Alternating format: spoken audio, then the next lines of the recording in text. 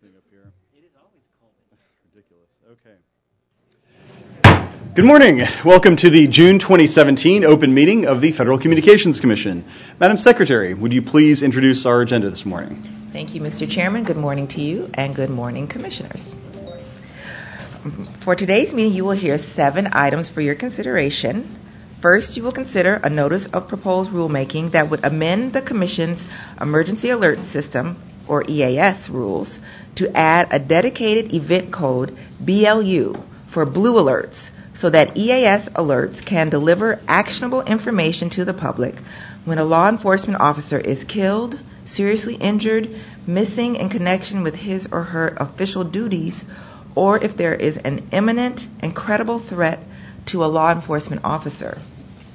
Second, you will consider a report and order that establishes the procedures and standards the Commission will use to review alternative plans submitted by states seeking to opt out of the FirstNet network and to build their own radio access networks that are interoperable with FirstNet.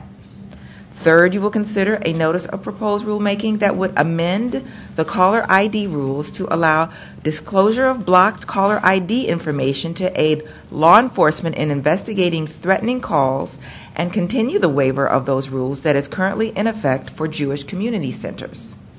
Fourth, you will consider an order and declaratory ruling that recommends granting OneWeb's request to be permitted to access the U.S. market using its proposed global non-geostationary satellite constellation for the provision of broadband communication services in the United States. Fifth, you will consider a notice of inquiry that seeks comment on ways to facilitate greater consumer choice and enhance broadband deployment in multiple tenant environments such as apartment buildings, condominium buildings, shopping malls, or cooperatives. The notice of inquiry further seeks comment on the current state of broadband competition in such locations and whether additional Commission action in this area is warranted to eliminate or reduce barriers faced by broadband providers that seek to serve the occupants of multiple tenant environments. Six, you will consider a notice of proposed rulemaking in order that one proposes to eliminate the requirement that carriers that complete payphone calls conduct an annual audit of their payphone call tracking systems and file an associated annual audit report with the Commission, and two, waives upcoming annual audit and associated reporting, reporting requirements. Seventh, you will consider an enforcement action. This is your agenda for today. Please note item 6 listed in the Commission's June 2017 Sunshine Notice has been adopted by the Commission and deleted from today's agenda. The first item today will be presented by the Public Safety and Homeland Security Bureau, and Lisa Fowlkes, Chief of the Bureau, will give the introduction. Thank you, Madam Secretary. And before I turn the floor over to Chief Fowlkes and to, to, our distinguished staff from the Public Safety Bureau as well as the Justice Department, I just wanted to make a brief uh, statement about why uh, it is important, I think, that we are laboring in the field of public safety today. Uh, I, along with uh, millions of Americans, I think, was shocked by the events last week in which uh, Congressman Steve Scalise, among others, uh, was uh, attacked at a baseball field in Alexandria, Virginia. I've had the privilege of getting to know Congressman Scalise over the years. Uh, was uh, once living in uh, near his district in Louisiana, and uh, one of the first uh, things uh, that he sent me when I became a commissioner was a much appreciated bag of community coffee. And uh, he and I have had a, a, great relationship ever since about coffee policy and lagniappe, as he might say, down in Louisiana. I certainly uh, wish him well. I was horrified to hear of what had happened. I uh, hope that he is on the mend soon. And certainly my thoughts and prayers are with him, with his family with his friends, uh, both personal and in Congress, of which there are many, and I certainly hope uh, that uh, he gets better soon. I also want to recognize the heroic efforts of the security officers who were there that day, but for the fact that those uniformed officers were on the firing line quite literally it is uh, it's hard to conceive how bad the carnage could have been, and so I want to express my appreciation to all of them uh, who did such a superb job keeping folks safe, obstructing and ultimately incapacitating the shooter, and otherwise uh, acquitting uh, the men and women in blue very well with their efforts. I don't know if my colleagues would like to say a word, but uh, turn the floor over to them. Yesterday, when it comes to this uh, item or comes to this issue, I had a chance to smile because I um, saw, like many of you, even though I didn't attend in person, Crystal uh, Griner or Grinner um, throw out that pitch. Might have taken her more than one time, but she did it. Um, I was there in person, no preference, just timing and, and, and the like, because the chairman has like 10,000 items that I had to read. Um, but I, I did see in person where uh, uh, David uh, Bailey um, threw uh, that pitch. And I mentioned those two along with Zach Barth, uh, Matt Mi- Micah, as well as our friend, fellow Southerner, uh, Representative Steve Scalise, because that pitch, those pitches represented, you know, to me, the improvement and the hope that we are all embracing. He went last time from being grave to now fair in a short period of time. Um, so we are so happy. I proclaimed uh, that day to be a member of Team Scalise. I, uh, I maintain uh, that membership, and um, I he his family continues to be out in our thoughts and prayers. I am so grateful to the Capitol Police. Always like them, truly love them, and um, again, uh, Godspeed, and uh, they have proven once again why, just like you said, this meeting is so important, and to be able to give them the tools they need uh, to uh, complete their duties is, is job one for the FCC. Amen to that, Commissioner. Uh, no, I, I, appreciate the, the opportunity to, to weigh in on, on such an important topic, and I, I, thank the chairman for raising it. I too want to wish the best to recovery to Congressman Scalise. I too have spent some time with him and his staff, and been a wonderful experience. I, have ta- had an opportunity to talk to a number of congressmen this week. They say that they've visited with him and he is on the mends. Sounds like it's going to be a, a pretty long recovery. Um, I don't know if he was a marathon runner before, but I think he's he's going to have some challenges moving forward. So we wish him the best. Uh, certainly, my my support to the Capitol Police. They've uh, been there on many a time in my past life.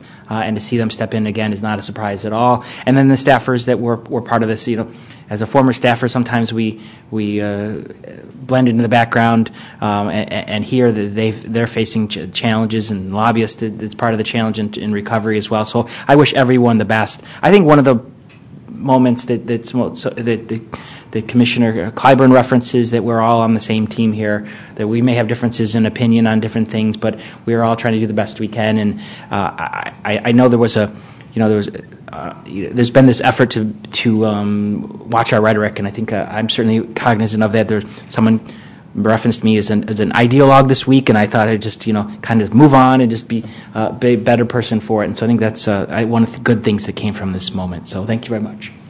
Uh, thank you, uh, Commissioner. I agree with your sentiments. And uh, with that, uh, Chief Fowlkes, the floor is yours.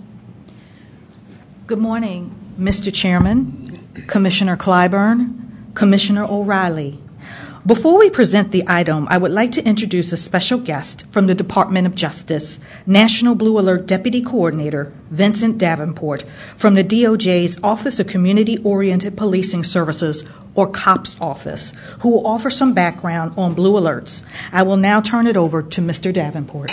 Thank you very much, Lisa. And good morning, Commissioner Pai, Chairman Pai, Commissioner Clyburn, and Commissioner O'Rielly. And thank you very much for your opening sentiments. Much appreciated. And thank you for this opportunity to speak on, the, on behalf of the Department of Justice. The protection and support of law enforcement is a top priority for the United States Department of Justice.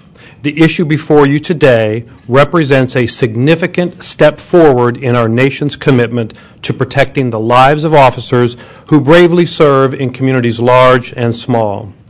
The dangers of police work have always been known and accepted by those who serve, but few could have imagined the vicious and often premeditated attacks on officers which occur far too often. These attacks on law enforcement contribute to an erosion of public safety, which is a hallmark of free societies. The Rafael Ramos and Wenjian Liu Blue Alert Act calls for the creation of a communications network to ensure that key information about threats to law enforcement is disseminated to the public and to law enforcement in a timely manner. The Office of Community Oriented Policing is honored to implement the National Blue Alert Network, which provides resources and technical assistance to states, law enforcement agencies, and others seeking to establish or enhance Blue Alert plans. Our work is made possible by the support of many, including the Fraternal Order of Police, the National Association of Police Organizations, the National Sheriff's Association, the International Association of Chiefs of Police, and all, all of whom are represented in our National Blue Alert Advisory Group. The Federal Communications Commission is uniquely positioned to provide special support. We have asked the FCC to issue a dedicated emergency alert event code for Blue Alerts. Such a code would dramatically improve the effectiveness of the National Blue Alert Network and facilitate the integration of Blue Alert plans nationwide. But most important, a Blue Alert event code would help save lives. It has been a pleasure working with your staff in the Public Safety and Homeland Security Bureau, a truly dedicated team of public servants. We wish also to acknowledge and thank broadcasters, wireless carriers, and others who play a vital role in keeping Americans safe through their support of wireless of emergency alerts. Today is an important first step in our request. Moving forward, we pledge our full support and we stand ready to assist the FCC in every way that we can. Thank you very much. Thank you, Mr. Davenport. Thank you, Mr. Davenport, for your service and for being here today.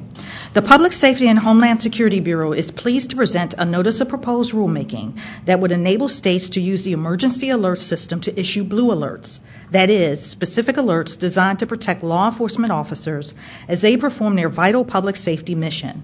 This item promotes the important national policy as articulated by the President in a recent executive order of preventing violence against law enforcement officers.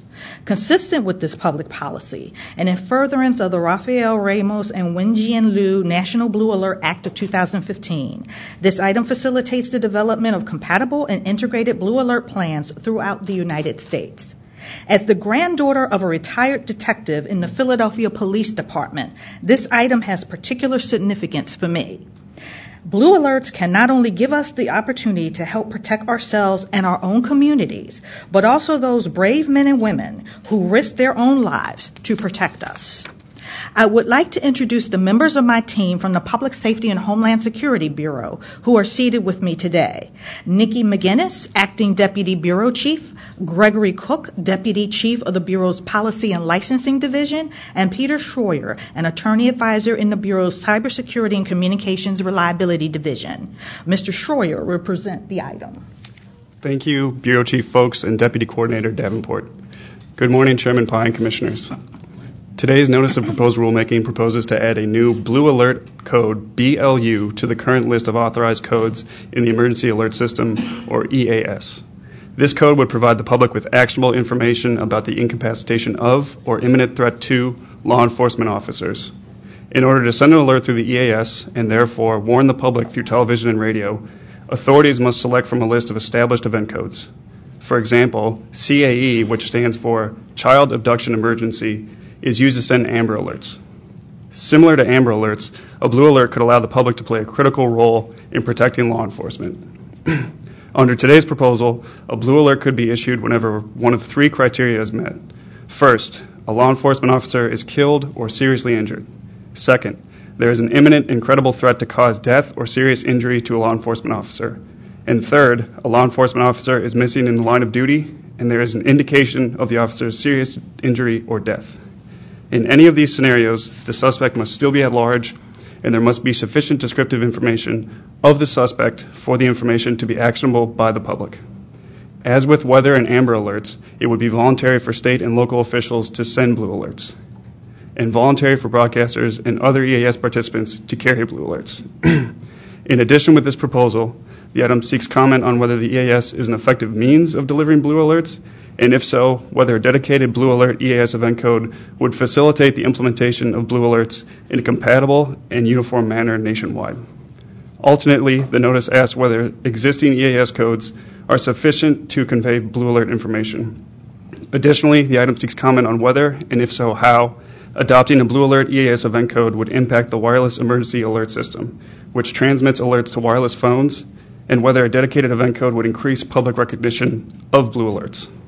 Lastly, the item seeks comment on the costs and benefits of adding the Blue Alert Code and appropriate implementation timeframe for adding the Blue Alert Code. The Bureau recommends adoption of the item and requests editorial privileges extending only to technical and conforming edits. Thank you. Thank you, Mr. Schroyer. And with that, we'll turn to comments from the bench, beginning with Commissioner Clyburn. Just last month, I had the distinct privilege of spending some time with the dedicated call takers and radio dispatchers of the Los Angeles Communications Center, the largest highway patrol dispatch center in the state of California.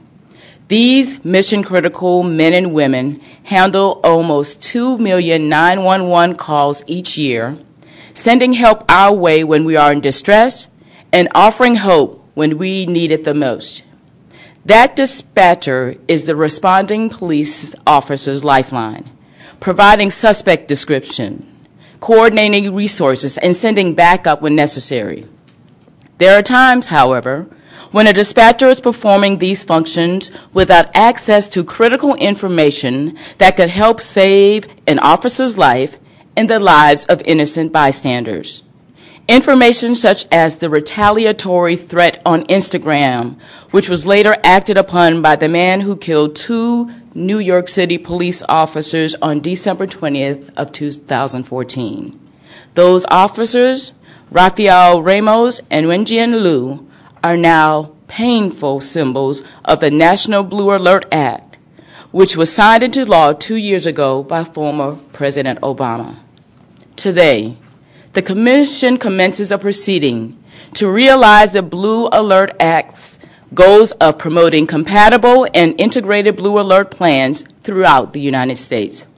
In particular, we propose to revise the Commission's Emergency Alert System rules to add a Blue Alert event code, which would be used in situations involving the serious injury or death of a law enforcement officer in the line of duty, an officer who is missing in connection with his or her official duties, or an imminent and credible threat that an individual intends to cause injury to or kill a law enforcement officer. We seek comment on this proposal, as well as a number of additional issues, including whether the current system could accommodate blue alerts as effectively as other types of alerts, how the public may respond to blue alert EAS codes, and what effect our proposal would have on wireless emergency alerts. During life-threatening and dangerous situations, our nation's law enforcement officers put their lives on the line. We appreciate those who have taken the oath to serve and protect our communities and understand that the job they perform each and every day is not an easy one.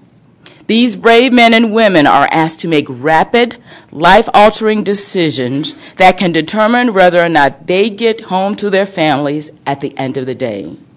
We owe it to those officers who take and abide by that sacred oath to protect and serve to uphold our public safety obligation of ensuring that those essential lines of communications operate in a uniform and consistent manner.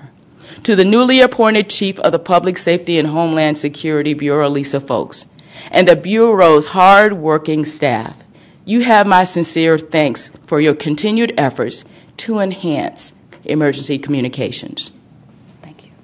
Thank you, Commissioner. Uh, Commissioner O'Rielly. Thank you, Mr. Chairman. Uh, thank you, Mr. Davenport, for being here. I apologize, I didn't know you were coming, or we would have probably demothed the area so, during your presentation.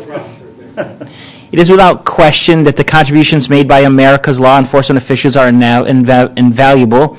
We're reminded time and time again that they come to our aid without hesitation, regardless of the dangers of their personal well-being when things look the bleakest. Today we consider a notice that may, if implemented, help us make law enforcement personnel safer. While some localities have used other codes for such purposes, it is helpful exercise to understand whether a new code is needed and the potential benefits of a nationwide code. Ultimately, when, where, and how to use this code will be up to the discretion of the local law enforcement agencies. They will have to make the ultimate judgment call about whether releasing such information is likely to facilitate their efforts. To the extent that America's law enforcement officials find this helpful, I'm supportive and look forward to engaging with them on this issue. Thank you, Mr. Chairman. Thank you, Commissioner O'Rielly. In 2014, as Commissioner Clyburn pointed out, uh, just five days before Christmas, Officers Rafael Ramos and Wenjian Liu of the New York City Police Department were shot at point blank range in Brooklyn. The gunman emptied several rounds into the officers' heads and torsos while they were conducting a stakeout from their patrol car. Officers Ramos and Liu never had a chance. In fact, authorities said they never even drew their weapons. Officer Ramos had just turned 40 earlier that week, and Officer Liu had been married for just two months. Uh, these men in blue were two of our nation's finest, needless to say. The most frustrating part of the story is that it could have ended differently. Uh, we now know that earlier in the day, the gunman shot his girlfriend in Baltimore and then posted on Instagram that he was heading to New York City to attack police officers. After seeing the warning signs on Instagram, uh, the Baltimore Police Department informed a precinct in Brooklyn that the gunman was, quote, pinging in that location. That information couldn't be relayed through the NYPD in time to save the officers. we'll never know uh, for sure, of course, but Officers Ramos and Liu may have had a better chance of surviving had a blue alert been issued over the Emergency Alert System, or EAS. A blue alert, as Mr. Schroyer pointed out, is similar to the amber alerts that we use to find and recover missing children. With a blue alert, state and local authorities can send warnings over broadcast, cable, satellite, and wireline video networks to quickly warn a community of imminent threats to police. Now, some 27 states already use blue alerts over EAS to notify the public when there's actionable information relating to a law enforcement officer who is missing, uh, imminently incredibly threatened, or seriously injured or killed in the line of duty. And I, I think, like my colleagues, can't think of a better way to start off Public Safety Month here at the FCC than by considering federal action on blue alerts. This is important because it will help to facilitate and streamline both new and existing blue alert plans into a coordinated national framework uh, across all states. This framework is consistent with the Blue Alert Act, which uh, was enacted to encourage, enhance, and integrate the formation of voluntary Blue Alert plans throughout the United States. Now, as is obvious, uh, given the witness table, we do not stand alone in this effort. Last month at the U.S. Department of Justice, I had the honor of joining Mr. Davenport, Acting Associate General Jesse Panuccio, and uh, U.S. Immigration and Customs Enforcement Director Thomas Homan, as well as several leaders of our nation's public safety community, in announcing the rollout of the National Blue Alert Network. I noted then, and I reiterate today, that with this step, we are not just advancing a policy we are affirming a principle. And that principle is that we, the American people, have a collective responsibility to protect and serve those who protect and serve us. Today's first step toward establishing a Blue Alert Code is just one example of our commitment to this principle. I want to thank Mr. Davenport of the COPS office and the entire Justice Department for uh, your leadership on this issue and for the presentation this morning. And I want to give special shout outs to uh, Nicole McGinnis and to James Wiley of the Public Safety and Homeland Security Bureau, each of whom uh, received rave reviews uh, when I was at the Justice Department from a variety of folks who've been involved in this effort. It was not easy to get to this point, and that we're here is testament to your efforts. I also want to thank uh, Gregory Cook and Lisa Fowlkes of the Public Safety Bureau. Peter Schroyer for the great presentation this morning, and David Horowitz and Anjali Singh from the Office of General Counsel for their dedication to keeping Americans safe. And with that, we will move to a vote on the item. Commissioner Clyburn? Commissioner O'Rielly? Aye. Uh, the chair votes aye as well. The item is adopted with editorial privileges granted as requested. Thank you, Chief Fowlkes. And uh, with that, Madam Secretary, we can move to the next item on the agenda. Mr. Chairman, Commissioners, the second item on your agenda will also be presented by the Public Safety and Homeland Security Bureau. It is entitled Procedures for Commission Review of State Opt-out Requests from the FirstNet Radio Access Network. Lisa Fowlkes, Chief of the Bureau, will give the introduction. And uh, Chief Fowlkes, whenever you and your team are ready.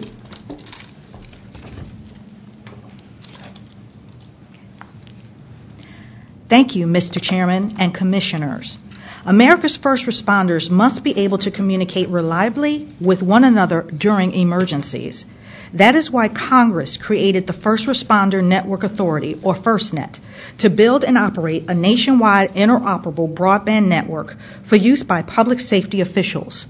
FirstNet, which holds a spectrum license from the Commission, is charged with constructing, deploying, and operating the nationwide network. FirstNet recently selected its network partner, AT&T, and is in the process of providing each state with its plans for network deployment within the state. Under the statute, a state may accept FirstNet's proposal, or a state may elect to opt out of the FirstNet network and instead build its own radio access network, so long as the state demonstrates that this network will be compatible and interoperable with FirstNet's network. Congress tasked the FCC with several discrete but important duties to help bring FirstNet to fruition. One of these duties is to evaluate any state opt-out proposal to determine whether the state's network plan meets the statutory requirements for interoperability with FirstNet, and to approve or disapprove the plan accordingly. Today we present a report and order that sets forth the standards and procedures the FCC would use for this review.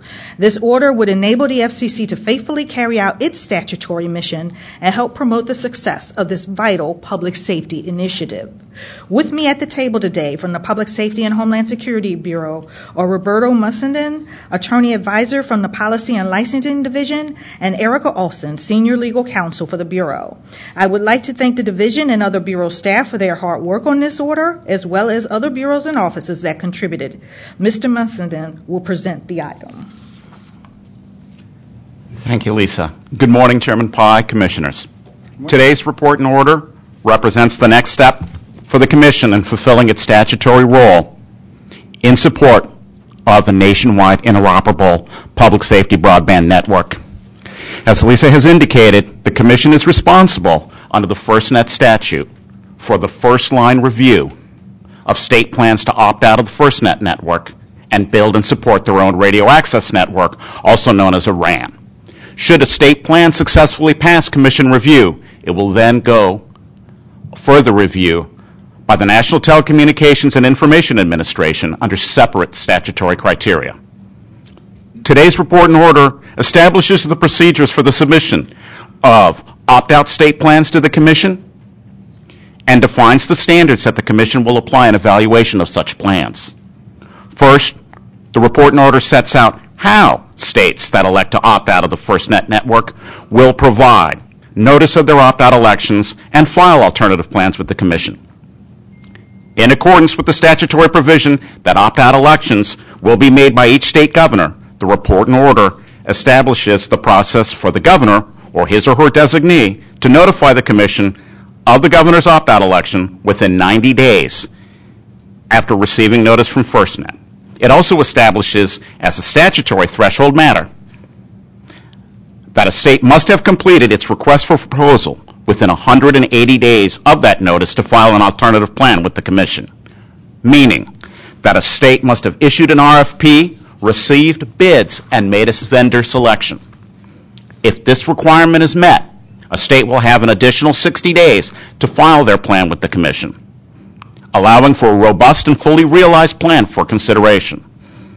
The report and order further allows states to request confidentiality for elements of their plans that contain sensitive information and provides a limited pleading cycle for FirstNet and the National Telecommunication and Information Administration to provide comment on the plan as well as for additional impacted parties to participate. In terms of Commission review, the report and order provides for a 90-day aspirational shot clock for Commission action as a means to provide certainty and urgency to move the process forward. Next, the Commission addresses the scope of Commission review and the two-pronged test that the Commission must apply.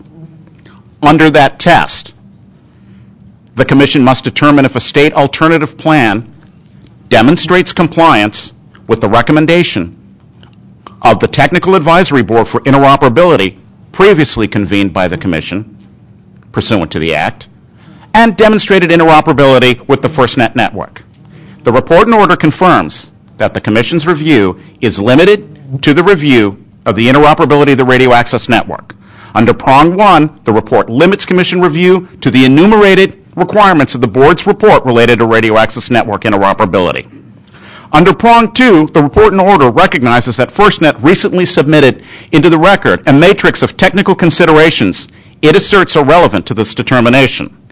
The report and order directs the Bureau to issue a public notice seeking expedited comment on FirstNet's proposed matrix, after which the issue will be referred to the Commission for final determination. Finally, The report and order recognizes that some parties to the proceeding have raised the issue of whether states can include a separate core in their alternative plans. The report and order finds this issue to be outside of the scope of the Commission's interoperability review as defined by statute. The Bureau recommends adoption of this report and order and requests editorial privileges for technical and conforming edits. Thank you. Thank you, Mr. Mussenden. Uh, We'll now turn to comments from the bench. Uh, Commissioner Clyburn. Nearly 16 years ago, we were frozen in disbelief as four uh, coordinated attacks undermined our nation's sense of security and robbed nearly 3,000 people of their lives. Though we were stunned and are still grieving, among the many actions to follow were recommendations from the 9 11 Commission and the congressional creation of FirstNet, which would establish and oversee a nationwide interoperable broadband network solely dedicated to public safety. Earlier this week, as you heard, FirstNet and AT&T achieved a key milestone by delivering individual plans to the states. In doing so, they initiated the soft start of the official opt-in, opt-out process for states, which will commence once FirstNet and AT&T deliver their final plans to the states in the fall. FirstNet's success depends on there being truly interoperability across this nation, and the decision whether to opt in or not is a momentous one that no governor or any of us will take lightly. The FCC, NTIA, and the states will embark on a deliberative, deliberate, informed process on which on what is best for individual states and this nation. According to press reports, 49 states, states sought follow-up meetings on the very day the plans were delivered, which affirms to me and should provide comfort to you that each party is taking its role seriously. Now, to be completely transparent, I fully believe in FirstNet's mission and personally hope that each state will elect to opt in. But Congress ex- expressly and rightly afforded each state the ability to opt out of FirstNet, and this option is what we sought to capture in today's order. If some say that opting out is an impossible feat, my answer is that was not Congress's intent. Congress intended to give states a meaningful, if difficult, opportunity to decide if it is in their best interest to submit an alternate plan to the Commission. And for any state wishing to opt out, once the plan is submitted, the Commission is committed to working diligently to review the submission within the targeted 90-day shot clock timeframe, and our technical review of a state's alternate plan will align with our statutory mandate. And that is a promise we intend to keep. On more than one occasion, for those of us who follow us on, uh, those of you who follow us on a regular basis, you have witnessed sometimes heated disagreements on this side of the bench. But when it comes to public safety, there is no debate. We will work to do everything in our power to pave the way for the exped- expeditious, fast deployment of truly nationwide interoperable, interoperable network for our country. First responders put their lives on the line each and every day to keep us safe. They deserve the very best in communications technologies, the American people deserve the very best network, and the FCC will do everything in its power to deliver. My thanks to Lisa Fowlkes and the staff of the Public Safety Homeland Security Bureau for your work on this item of national import and local impact. Thank you, Commissioner. Uh, Commissioner O'Rielly. Thank you, Mr. Chairman. The Middle Class Tax Relief and Job Creation Act of 2012 provided the Commission with very little authority over the inner workings of FirstNet's nationwide interoperable public safety broadband network. Well, I pushed for in a different life the FCC to have a larger, greater role and oversight function. I didn't win that policy argument. Instead, we have the task of administrating the state opt-out process and reviewing any alternative plans submitted for the Radio Access Network, or RAN. Generally, today's order appears consistent with the authority provided to the Commission under the Act and attempts to apply its provisions fairly. Hopefully, we struck the right balance, providing states the ability to make an informed choice and first FirstNet the certainty needed to proceed. Therefore, I support the order. Besides discussing the substance of the various filings, the item contemplates the timeframes in which states need to indicate their intention to opt out and provide their alternative plans. Failure to meet these timelines and submission requirements is quite consequential. States lose the ability to opt out. We hold these parties accountable, and the Commission should similarly be held accountable as well. That's why I'm a little disappointed that the Commission's 90-day shot clock for the review of state alternative plans is just aspirational. The Commission has a histo- history with aspirational shot clocks that seem to be stopped and started at will. In fact, they've proven to be as reliable as a sundial on a cloudy day. The item states, however, that the shot clock will only be suspended for special circumstances, such as a national, state, or local emergency that requires diversion of Commission staff resources to address the situation. I expect the Commission to live up to this commitment. Ultimately, the Commission must do what it can to move the process along so this network can finally be built. Thank you, Mr. Chairman. Thank you, Commissioner O'Rielly. Uh, today, today, as uh, pointed out, the Commission takes a significant step forward in carrying out its responsibilities to help the First Responder Network Authority, or FirstNet, uh, establish a nationwide interoperable public safety broadband network. And we could not have reached this milestone without the leadership of many in Congress and the efforts of a number of individuals in both the public and private sectors. From the beginning, uh, the FCC has played a collaborative role to help realize Congress's vision. In the past five years alone, the FCC has allocated spectrum for use by a nationwide public safety broadband network. It's granted a spectrum license to FirstNet. It has established a technical advisory board for first responder interoperability. It's approved technical requirements to FirstNet. And now, with this order, we fulfill our latest statutory responsibility. Now, this is all just one part of an ongoing and overarching plan to ensure that when the next disaster strikes, our first responders in the field, our call center dispatchers, our EMTs, our police officers, our firefighters, and others will have the tools that they need to save lives. I'd like to thank David Firth, Behzad Ghaffari, Brian Marenco, Roberto Mussenden, Erica Olson, Rasul Safavian from the Public Safety Bureau and Homeland Security Bureau, and Keith McCrickard and Bill Rich- uh, Richardson from the Office of General Counsel for their continued efforts to help our nation's first responders protect the public, and of course to Chief Fowlkes for shepherding the process through. With that, we will go to a vote on the item. Commissioner Clyburn? Aye. Commissioner O'Rielly? Aye. Chair votes aye as well. The item is adopted with editorial privileges granted as requested. Thanks very much. And uh, Madam Secretary, if you could now take us to the next item on the agenda. Mr. Chairman and Commissioners, the third item on your agenda will be presented by the Consumer and Governmental Affairs Bureau and is entitled Rules and Policies Regarding Calling Number Identification Service, Caller ID. And Mark Stone, Deputy Chief of the Bureau, will give the introduction. Thank you. Mr. Stone, whenever you're ready, the floor is yours. Good morning, Mr. Chairman and Commissioners. Today, I'm pleased to introduce an item that begins the important process of making it easier for public safety officials and security personnel to respond to threatening calls from blocked phone numbers while maintaining individual privacy protections. In recent years, media and law enforcement reports indicate that the number of threatening calls appears to be increasing dramatically. Telephone threats often come from callers who have blocked their caller ID information in order to conceal their identity. Blocked caller ID hindered investigations of the telephone bomb threats against Jewish community centers earlier this year and school districts and NASA before that.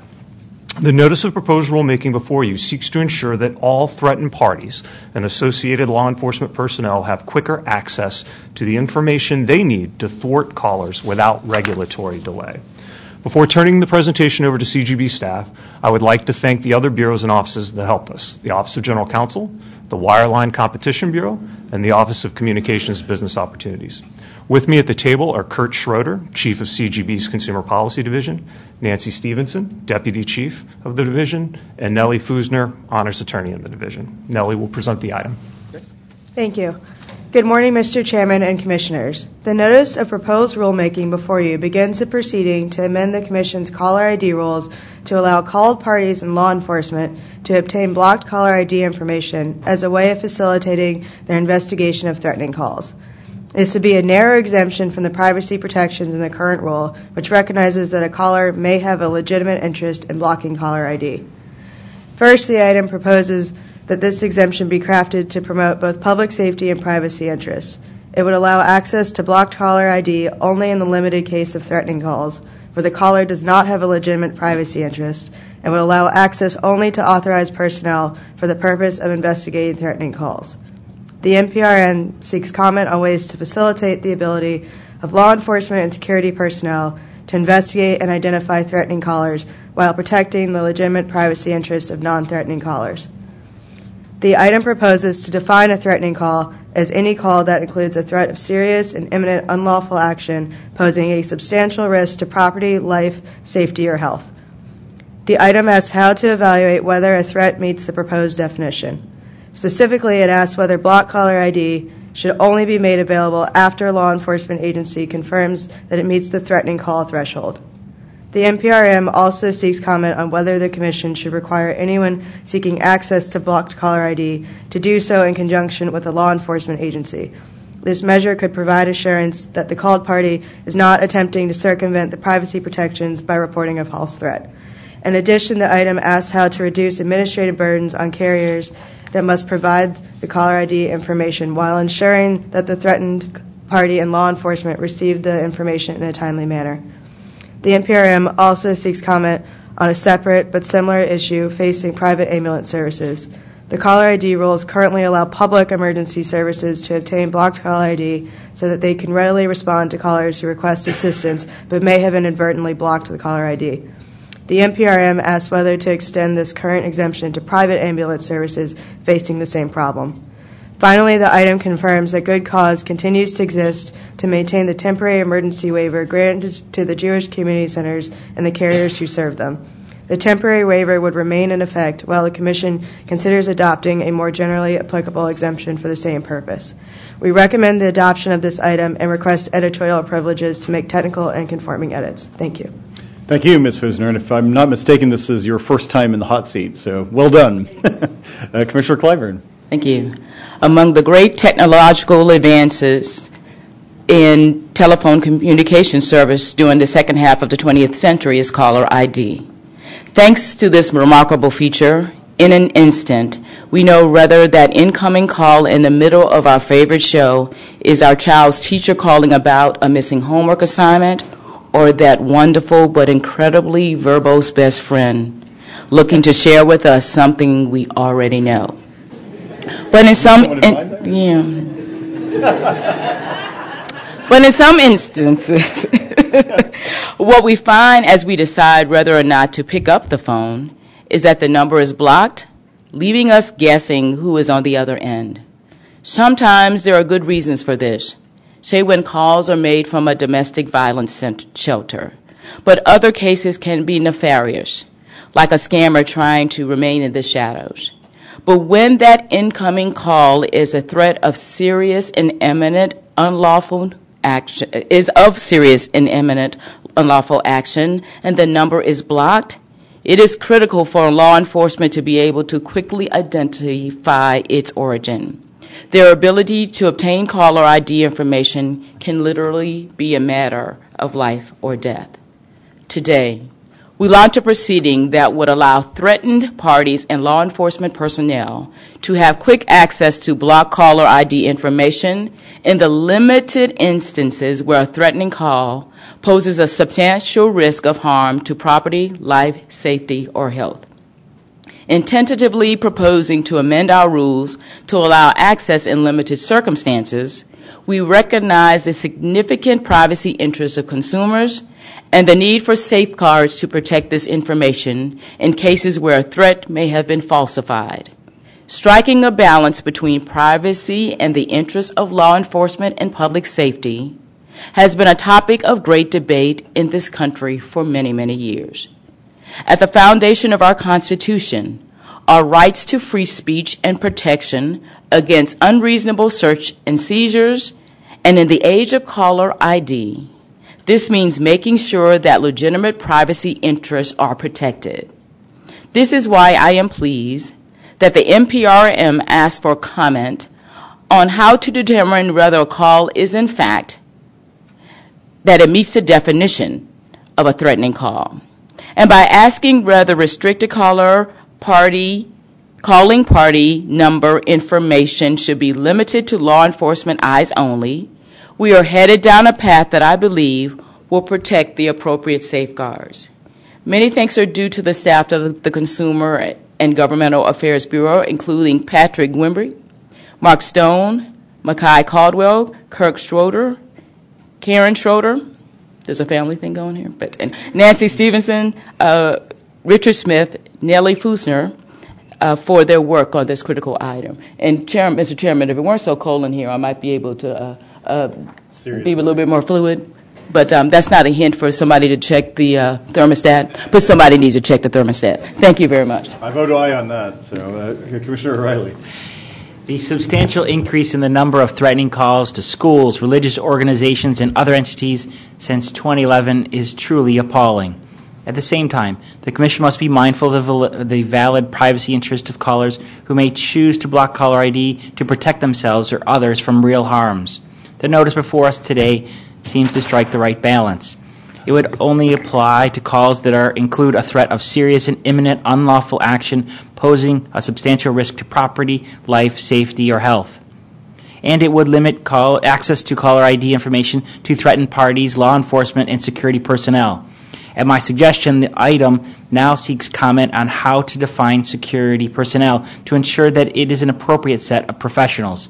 I thank the chairman for working me on this notice, and I will vote to approve. Thank you.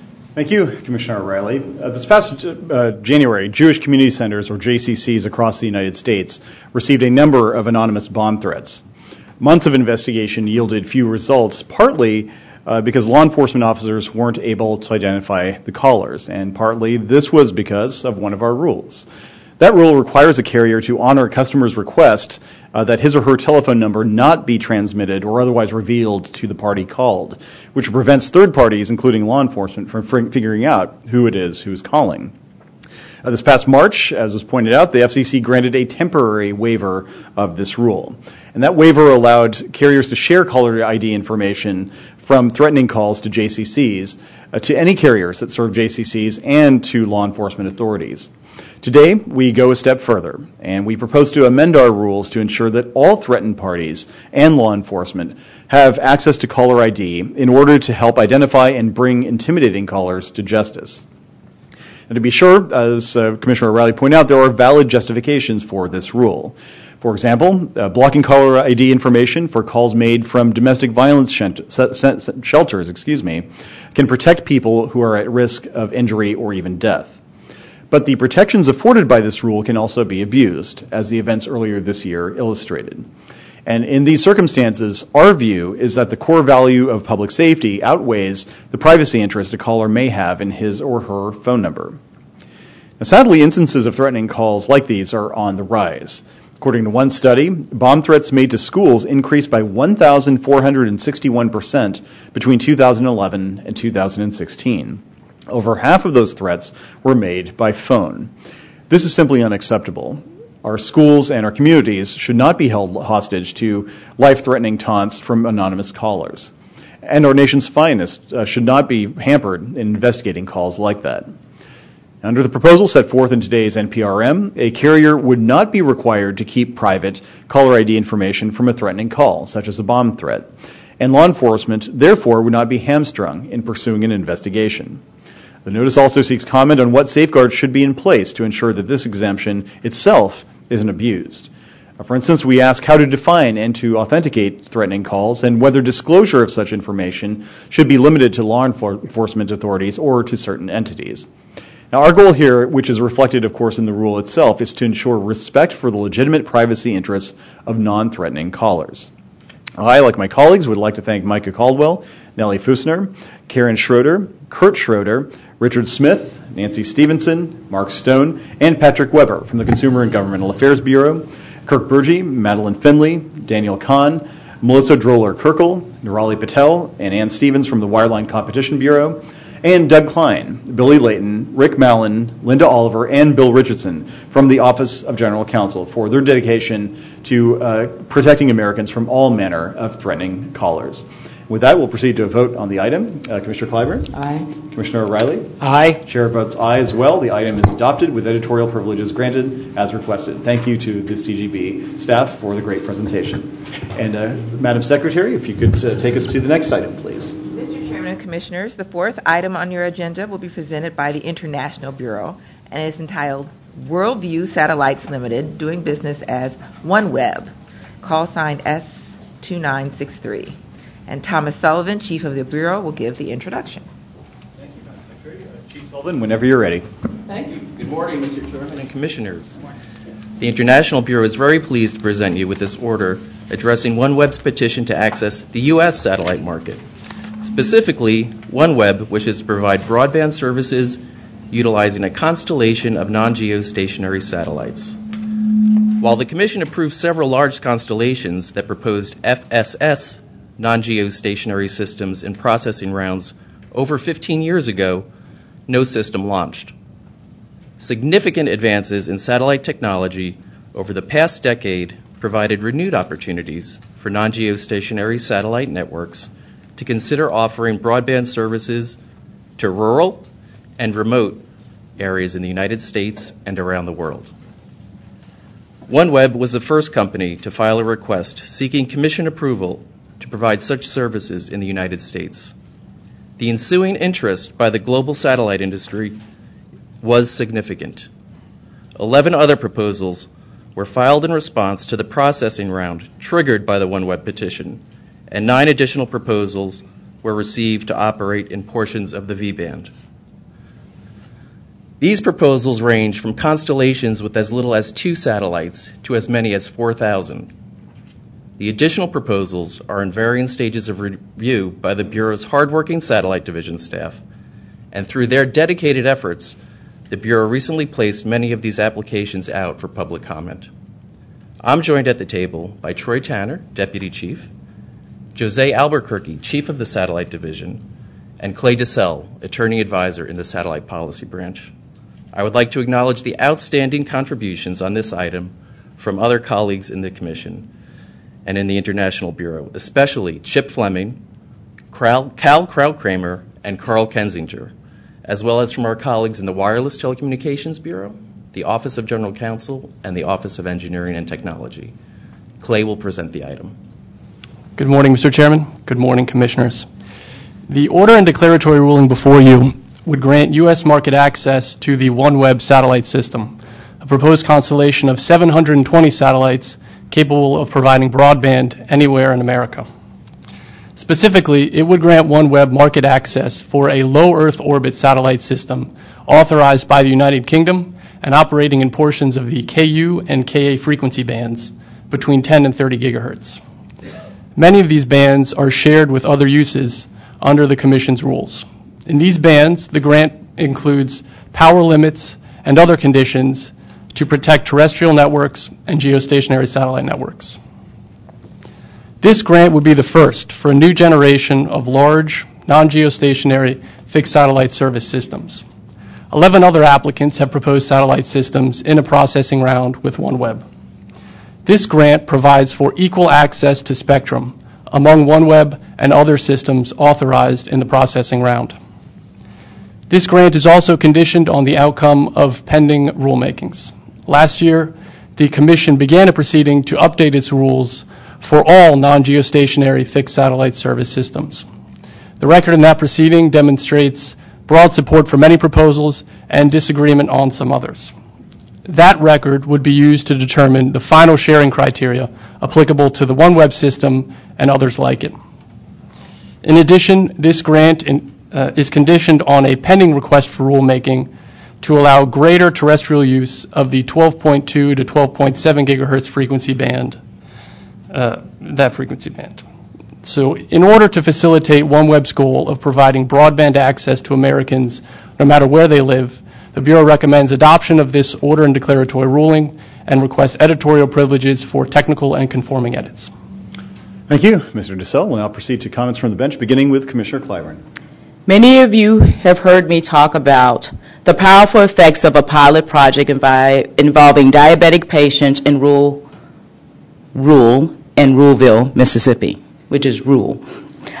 Thanks to the combined forces of a tablet and broadband access, after year one, none of the participating patients had hospital visits, resulting in a $339,000 savings in that state's Medicaid spending. Initiatives such as this improve health, com- health outcomes and save dollars are most often of greatest need in the very communities that lack the preeminent game changer of our time, access to broadband. And not just the infrastructure which enables broadband, but broadband services that people can afford. The persistent challenge of bridging the digital and opportunities divide is why I am excited to see OneWeb and other satellite companies embark on a laudable quest to provide ubiquitous and affordable advanced communication services. Satellites are an integral part of our lives, but they are often taken for granted. Satellites provide support to the Department of Defense, the Federal Emergency Management Agency, the National Aeronautics and Space Administration, as well as emergency services in our local communities. They're used to support GPS systems, essential in minions and most of your uh, daily travels. And they allow weather services to alert us when we need an umbrella for that morning commute. And now, advancements in technologies and reductions in manufacturing and launching costs have propelled innovation and promise to usher in a new era of competitive broadband offerings from satellite companies. As I stated during last year's 2020 Policy Forum, we must maintain a laser focus on finding solution for those, solutions for those who lack access to the communication services needed for today's connected world. The proposals offered by OneWeb and others participating in this NGSO FSS processing round offer us an opportunity once again to pivot away from simply discussing the problem to finding solutions. Congratulations once again to Tom Sullivan for his appointment um, as permanent chief. And I'd like to thank you, as always, Jose Albuquerque, and the staff of the International Bureau for your work on this important item. I look forward to continuing to work with you and my colleagues as we strive to create a more digitally inclusive society while enabling a space for more innovation and competition in the communication sector. Thank you. Thank you, Commissioner. Commissioner O'Rielly. Thank you, Mr. Chairman. There's been much excitement about the next generation of non-geostationary satellite orbit systems. If all the differing visions materialize, they will facilitate high-speed broadband connectivity to the hardest to reach portions of our country, enabling the offering of service to the unserved. A few question marks remain. For instance, these systems are incredibly ambitious, involving a scale of satellite deployments that we've not seen before. OneWeb system calls for more than 700 satellites, and another entity with a pending application seeks to launch more than 4,000 satellites and some of the NGSO systems planned in the V band are even larger. Will some of these systems come to fruition? More than likely. Will all of these systems be launched? That seems like a stretch. Will we facilitate the deployment of next generation technologies and let the market and the American consumer determine their success or failure? That should certainly be our directive. For this reason, I generally support today's order. However, those who read today's item will be quick to notice that the scope of these systems has raised many issues, such as preventing in-line interference and orbital debris, which will need to be considered further. There are also multiple conditions on OneWeb's application and approval. For example, access to some frequencies that could be restricted by future multi-channel video distribution and data service proceedings, and our action today is conditioned on the outcome of the larger NGSO's uh, rulemaking. This item highlights what needs to be addressed, and with any luck, we will resolve these proceedings as quickly as possible. Hopefully, our action today will provide NGSO applicants some level of certainty, permitting them to obtain investment and make future plans. But this item is more, than a, is more of a first step rather than a middle or final one. Going forward, there should be more holistic conversation and appropriate consideration of the complete picture of spectrum needs for both NGSOs and terrestrial use. As I've stated before, the satellite and wireless industries continue on a collision course, both here and internationally, as they seek spectrum for future systems. Generally, I remain concerned that we may be overlooking and foregoing opportunities for the clearing and sharing of spectrum by permitting additional uses on a piecemeal basis. I thank the chairman for very much. Thank you, Commissioner. Uh, humans have long sought inspiration from the heavens, from the ancient Egyptians orienting the pyramids towards certain stars, to the Greeks using constellations to write their mythology. In modern times, we've done the same, with over 1,000 active satellites currently in orbit. Well, today, the FCC attempts to harness that inspiration as we seek to make the promise of high speed internet access a reality for more Americans, partly through the skies. Over a year ago, OneWeb was the first company to seek approval uh, to enter the United States market with a system of high capacity satellites that orbit closer to the Earth than any satellite ever has before.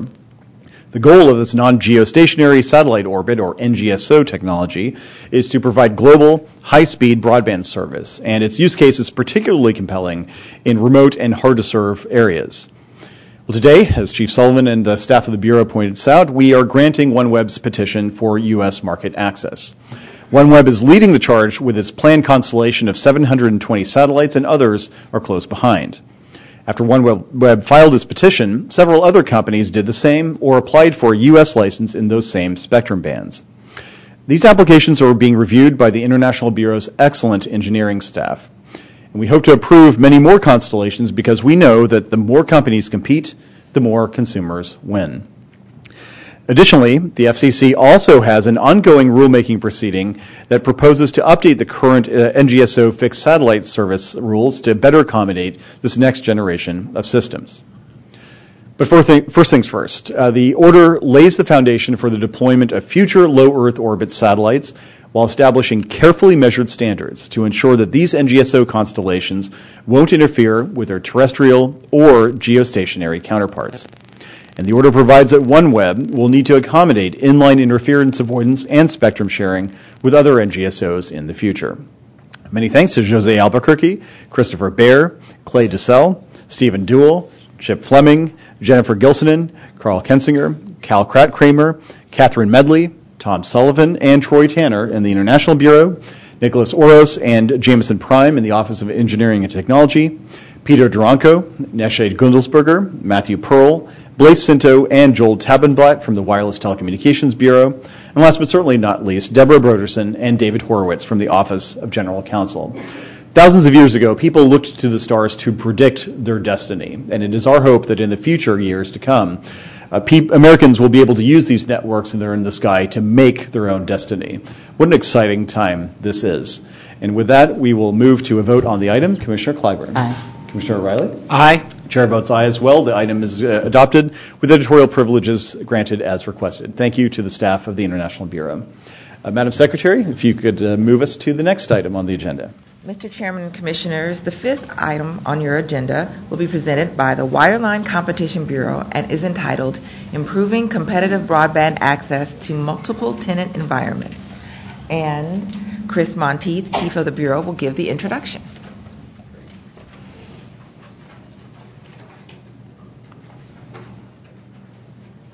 Uh, Ms. Monteith, whenever you and your folks are ready.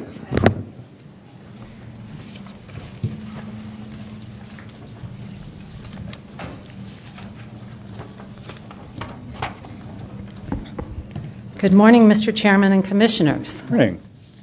The Wireline Competition Bureau is pleased to present for your consideration a notice of inquiry seeking comment on barriers to deployment in multiple tenant environments, or MTEs, and on ways to better enable innovation and competition in the market for high speed Internet services.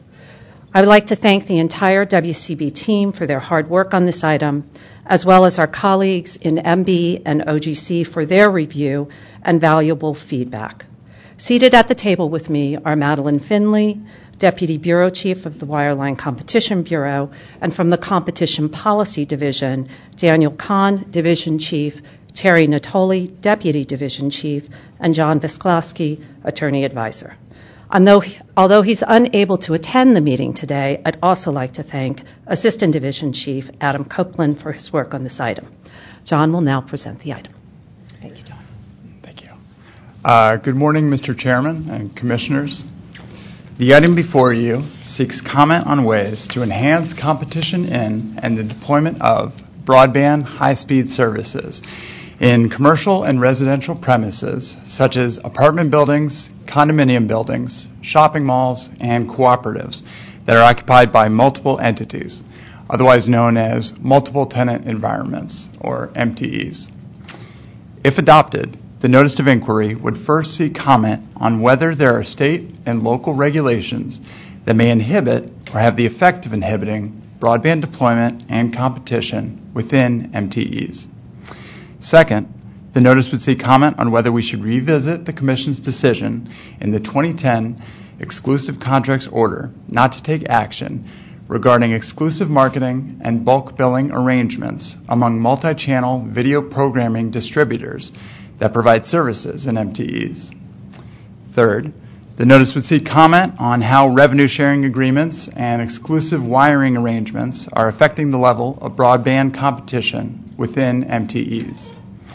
Fourth, the notice would seek comment on any additional types of contractual provisions and non-contractual practices that impact the ability of broadband providers to compete in MTEs. Fifth, the notice would seek comment on the Commission's jurisdictional and statutory authority to facilitate broadband deployment and competition within MTEs, including Sections 201B and 628 of the Act, on which the Commission has previously relied in prohibiting exclusive service arrangements in MTEs. The notice would also seek comment on the extent to which Section 253 of the Act can serve as a basis for the Commission to address state or local regulations with respect to facilities deployment and competition within MTEs. The Bureau recommends adoption of this item and requests editorial privileges extending only to technical and conforming edits. Thank you. Thank you, Mr. Visklosky. We'll now turn to Commissioner Clyburn for any comments she might have. Thank you. If the lack of fixed broadband is problem number one, the clear number two is figuring out how to unleash greater opportunities for competition and choice. Today, a mere 24% of census blocks in the United States have competition, and in rural America, where the economics of building broadband make it a more difficult business case, choice is rare to non-existent. Only 6% of rural census blocks have fixed broadband competition. But what may surprise some is that broadband competition is a problem in densely populated areas as well. Millions of Americans have no competitive options, not due to a broadband provider's unwillingness to challenge an incumbent, but because someone else is foreclosing such opportunities. Businesses in multiple households in multiple tenant environments, or MTEs, are sometimes precluded from choosing a broadband provider because of arrangements between the incumbent and the property owner. This is why I am pleased that we are adopting this notice of inquiry, which seeks comment on how we can enhance broadband deployment and promote competition for businesses and residents in such communities. More specifically, we ask how state and local policies have impacted broadband deployment in MTEs and hope to identify what contractual or non-contractual practices impact broadband providers in these locations. Additionally, this NOI seeks comment on what statutory provisions serve the basis for providing broadband deployment and competition within MTEs. But this is not our first rodeo when it comes to addressing this issue. In fact, the Commission banned exclusive agreements that it concluded locked up this market. But there are reports that these, that these rules we enacted were being circumvented. For example, even though a broadband provider may be prohibited from entering into an, exclusive agreement, that might not stop an MTE from choosing to simply reject competing services despite strong interest from their residents. Additionally, some provide network operators marketing materials in their new resident welcome package, which encourages those residents to purchase services from those specific companies. Some companies even offer property owners a revenue sharing deal, which may actually incent anti competitive practices. We ask if these practices are predatory, and if it is determined that they are, they should end. This NOI represents an important first step to ensure that barriers to competition are torn down. Many MTE occupants are unaware of the deals between their building owners and these companies, but it is important for consumers and potential competitors to have the power to compete and choose the provider that would serve them best. Competition, most often than not, brings lower prices and greater innovation. So it is imperative that we do all we can to promote these ideals. My thanks go to the Wireline Competition Bureau for your efforts to facilitate greater choice and enhance broadband deployment. And special congratulations to Kris Monteith on her first meeting as permanent bureau chief. Thank you, Commissioner Clyburn. Commissioner O'Rielly. Thank you, Mr. Chairman.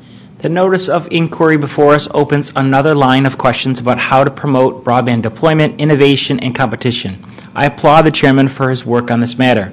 While I support having these discussions and I'm willing to initiate this proceeding, I do want to be clear that I do wonder about some of the ideas contained within. First, I do not believe that the Commission has authority to regulate marketing practices such as web advertisements and the placement of brochures in the building or in welcome packets of new residents. Second, some of the concerns raised in this item, including about unfair or deceptive acts or practices, may be best addressed by the FTC. Finally, if the Commission ultimately adopts its recent proposal to classify broadband as an information service, much of this discussion would seem to be moot.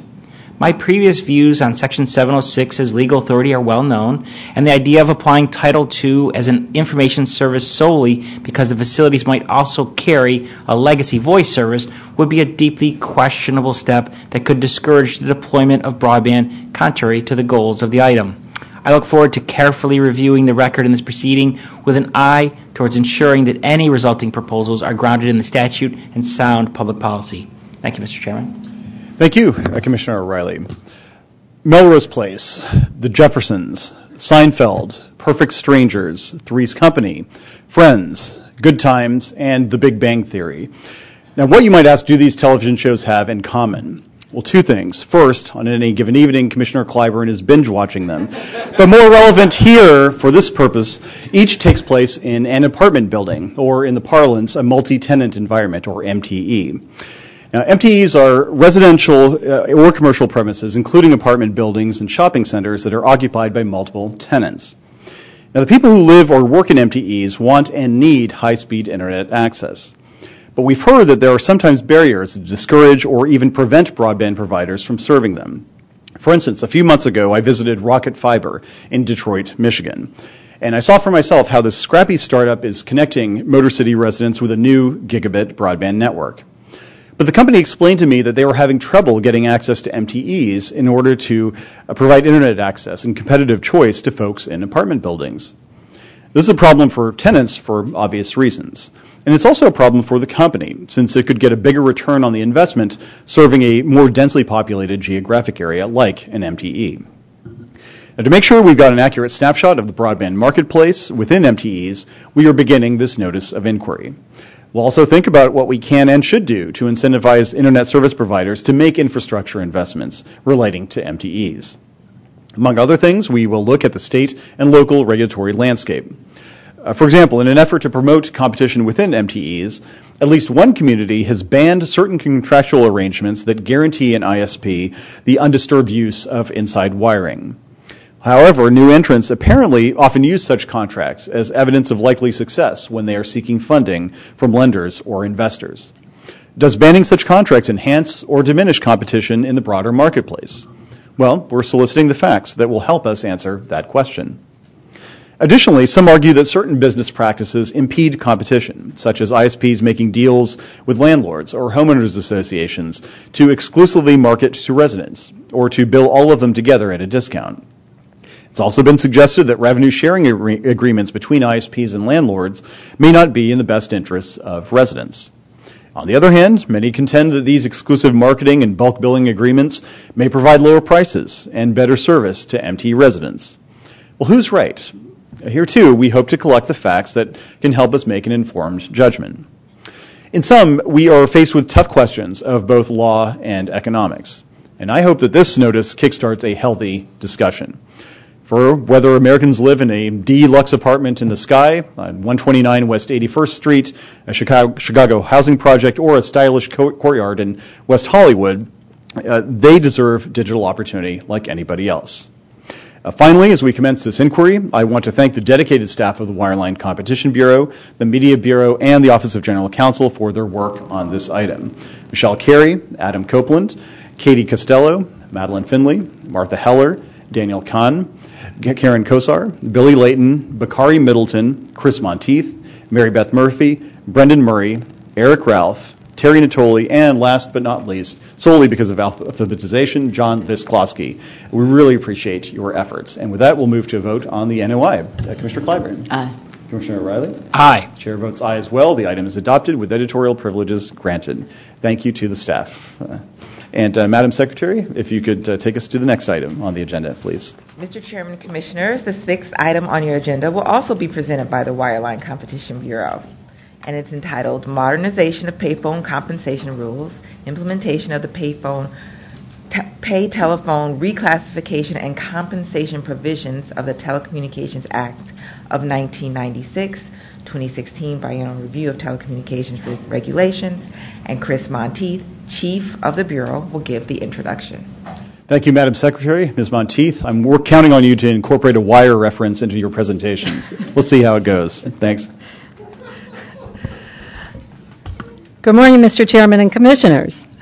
The Wireline Competition Bureau is pleased to present for your consideration a notice of proposed rulemaking and order. This item explores ways to modernize the Commission's payphone compensation compliance procedures to reduce regulations whose costs may now outweigh their intended benefits. If adopted, the item would propose or seek comment on reforming the Commission's rules applicable to payphone compensation compliance procedures and waive the, pay, waive the payphone compensation audit and associated reporting requirements for 2017 and 2018. I would like to thank the entire team for their hard work on this item.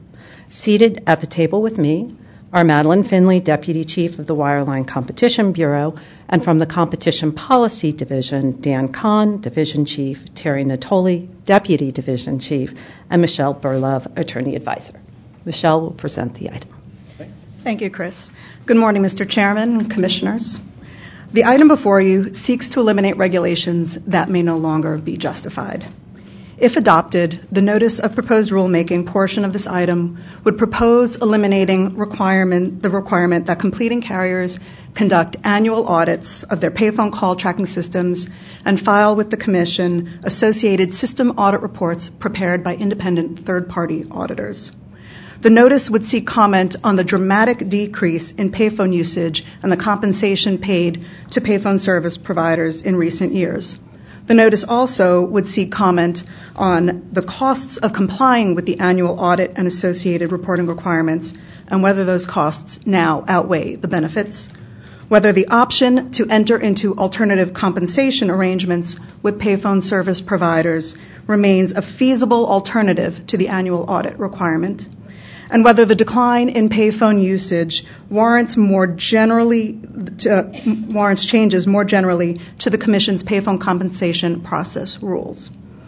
The order, if adopted, would grant a waiver of the annual audit and associated reporting obligations to all completing carriers for 2017 and 2018 to prevent completing carriers from incurring compliance expenses while this rulemaking is pending the order would not affect the completing carrier's underlying compensation obligations.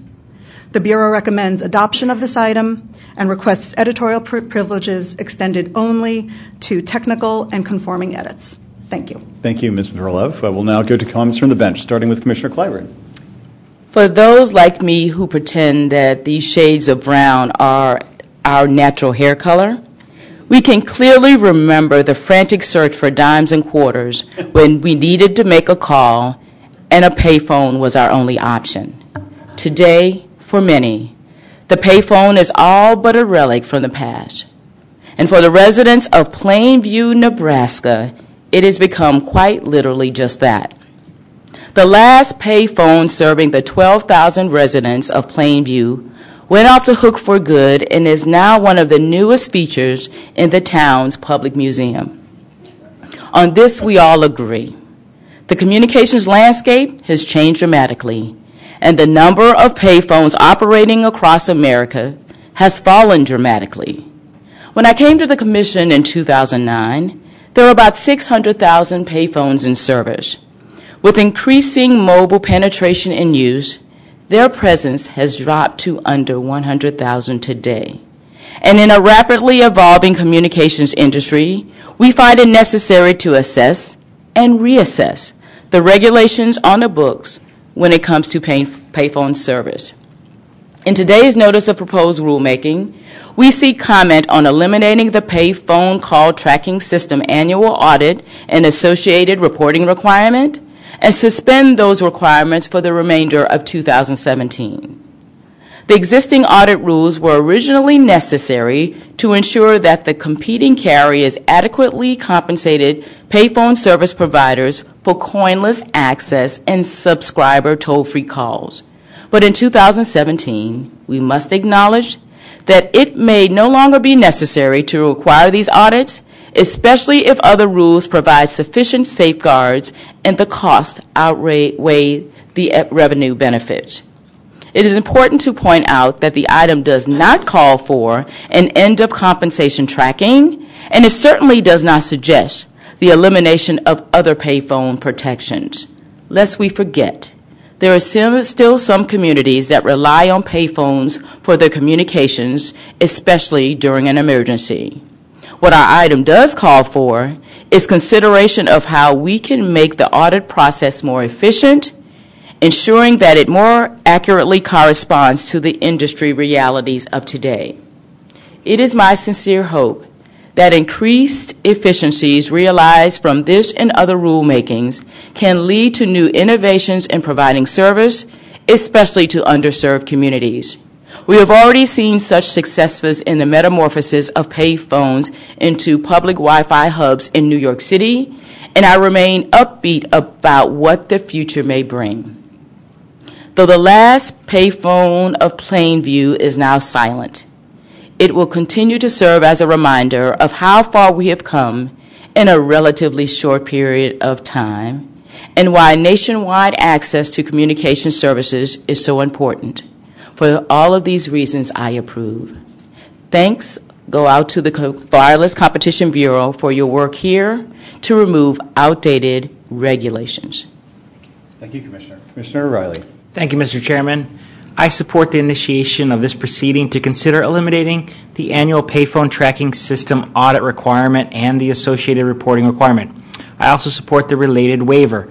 Like many FCC rules still on the books, this one appears to have outlived its usefulness and is likely that the cost far outweighed any benefits. Indeed, the record to date suggests that the cost of the audit is higher than the amount paid for payphone compensation. This issue came to the Commission's attention through a waiver petition filed by impacted carriers and through comments submitted in response to the Commission's 2016 biennial review public notice.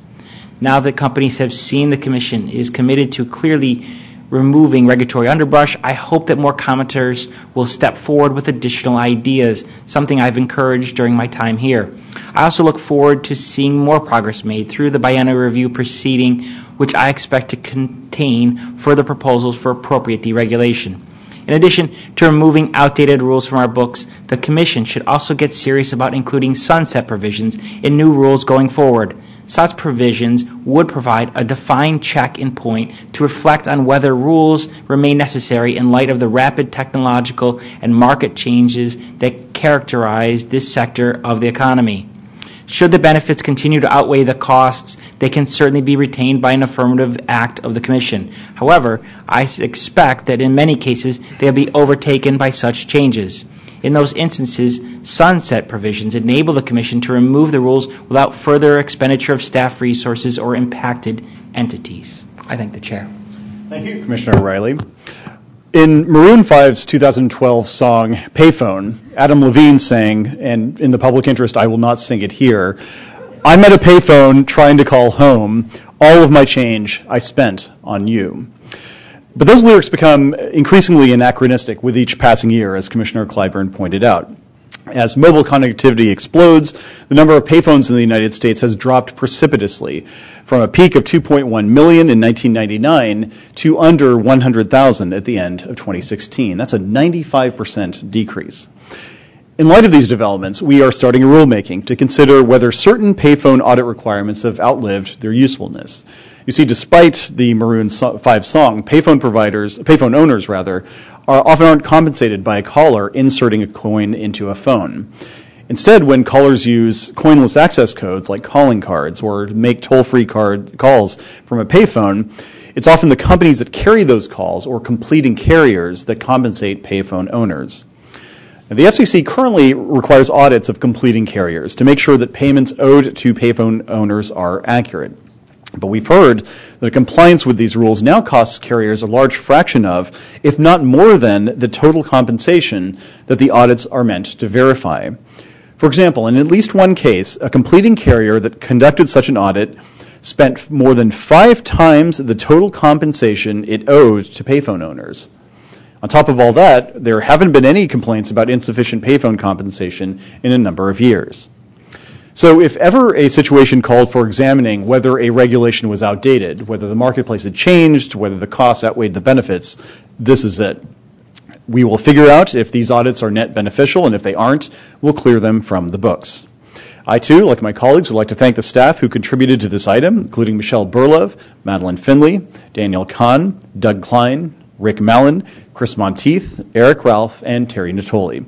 As we proceed with our efforts to modernize the Commission's rules to match today's marketplace, we will continue to rely on your expertise, even if you do not include any references to the wire. Uh, with that, we'll move to a vote on the item. Commissioner Clyburn. Uh, Commissioner O'Rielly? Aye. And jumping to five, the chair votes aye as well. I, the item is adopted with editorial privileges granted as requested. Thank you to the staff. And Madam Secretary, if you could now take us to the next item on the agenda. Mr. Chairman and Commissioners, you will now hear an enforcement case for your consideration. A notice of apparent liability for forfeiture that involves the apparent violation of Section 227E of the Communications Act, as well as Section 64.1604 of the Commission's rules. Thank you, Madam Secretary.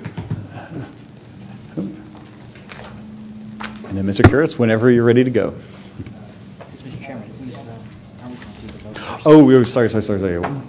One second. Yes, that's right. Uh, yes, oh, if you would give me a moment.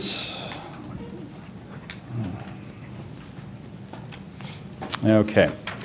Uh, so, as the Commission has done in past cases that involve the presentation of a notice of apparent liability or f- for forfeiture or NAL at an open meeting, uh, we're going to switch up what we do here a bit. As with all open meeting items, the Bureau circulated the NAL to every commissioner three weeks ago. But there is a long-standing practice at the agency that we do not publicly disclose the target of an investigation unless and until the FCC decides to take enforcement action. For NALs that are adopted at open meetings, this means that the agency formally votes on the item and then hears a brief presentation from the Bureau before proceeding to any comments that state uh, commissioners may make. This process ensures that the target will not be publicly disclosed until the FCC has voted to take action. Uh, we are going to follow that precedent here and move directly to a vote on the item and then follow the process that I just outlined. Commissioner Clyburn? Uh, how do you vote? Uh, oh, aye. Uh, Commissioner O'Rielly? Concur. Uh, the chair votes aye. The item is adopted with editorial privileges granted, as I suspect will be requested. And uh, we will now turn to uh, Madam Secretary. Mr. Chairman and Commissioners, the Enforcement Bureau will now provide a brief presentation on the adopted enforcement action. Good morning, Mr. Chairman and Commissioners. Thank you for your consideration and your votes on today's item. which is a notice of apparent liability for forfeiture, addressing apparent violations of the law and the Commission's rules by one of the most disruptive robocallers we have come across at the Bureau.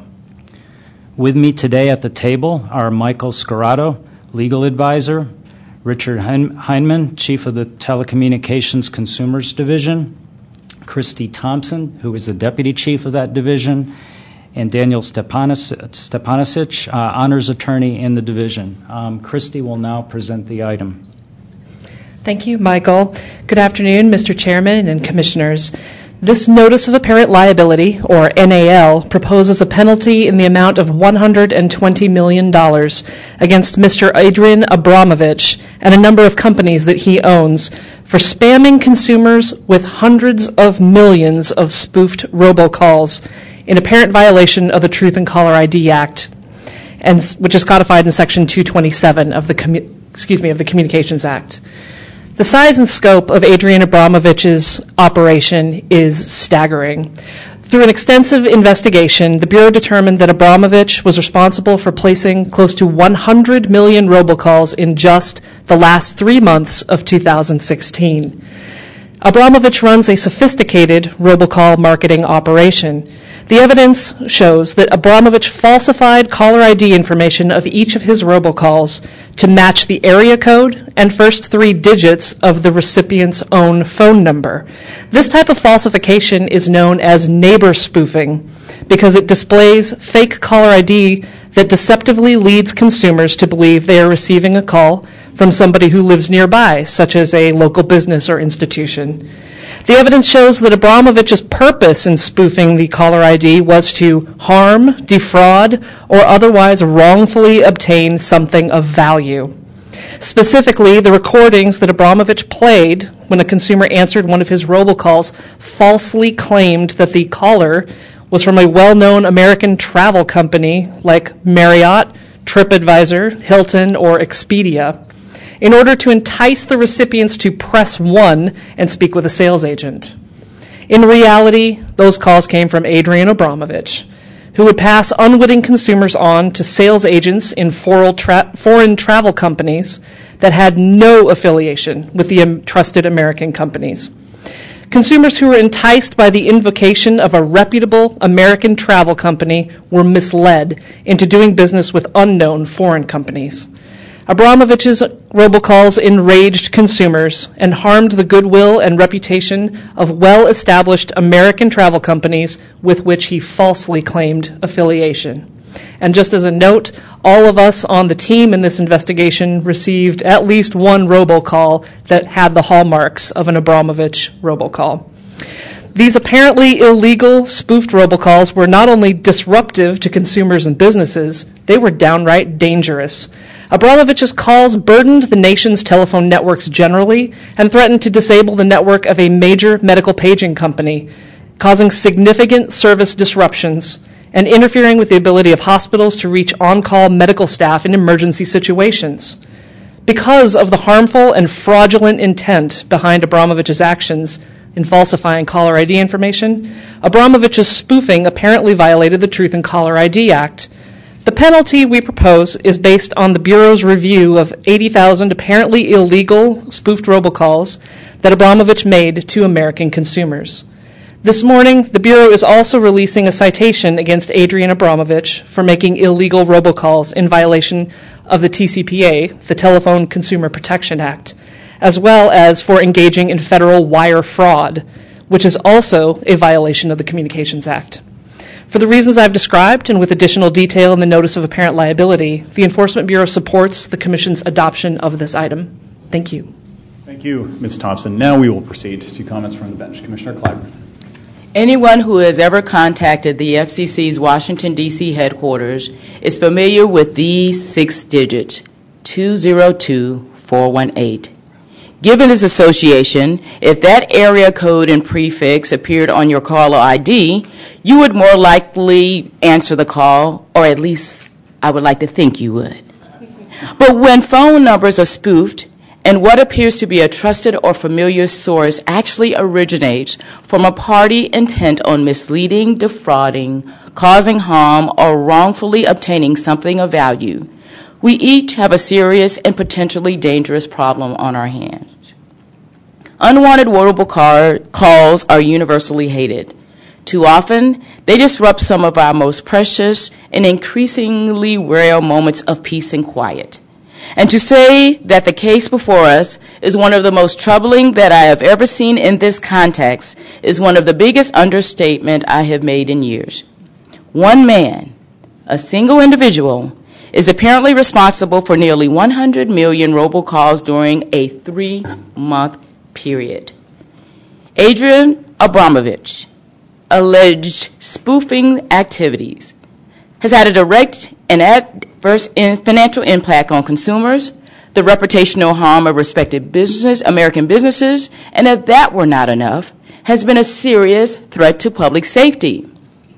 During the FCC's Enforcement Bureau's review of these apparent spoof telephone calls, it was discovered that some consumers paid hundreds of dollars for vacations that differed significantly from the ones presented to them. This has caused incalculable harm to well-regarded American travel companies, as their names were misappropriated and their hard-earned reputations were maligned as customers were misled, presumably for financial gain. Mr. Abramovich's apparent robocall spoofing scheme also disrupted an emergency medical paging service designed to ensure that first responders receive immediate critical alerts. I wish I could promise the American people that today's action will put an end to all unwanted and, as this case makes apparent, dangerous robocalls. Sadly, this uh, notice of apparent liability addresses only a fraction of the 2.6 billion robocalls that YouMail robocall, YouMail's robocall index reports were made just during the month of May. But there is one thing that I know on which we all agree. If there is any case of where a first impression should be lasting, it is this one. I wholeheartedly support being as tough as we can justify on anyone who would violate the public's trust, intentionally violate the Commission's rules, and put people at risk for apparent personal gain and a proposed penalty of $120 million, the largest in FCC's in the FCC's history, shows just how serious we are in stamping out the largest spoofed robocall campaign we have yet to investigate. The Commission has an obligation to ensure that all of its rules are robustly enforced, including those that protect consumers against 911 outages, cramming, slamming, and other core consumer protections. A commission that is truly committed to putting consumers first must never issue a hall pass on any communications provider that egregiously violates the Truth in Calling ID Act or any of our, of our standing rules. The American people are counting on us to be the voice that stands against practices that harm competition and limit consumer choice. We have much more work to do when it comes to these goals, but today it pleases me to say we have taken a noteworthy step.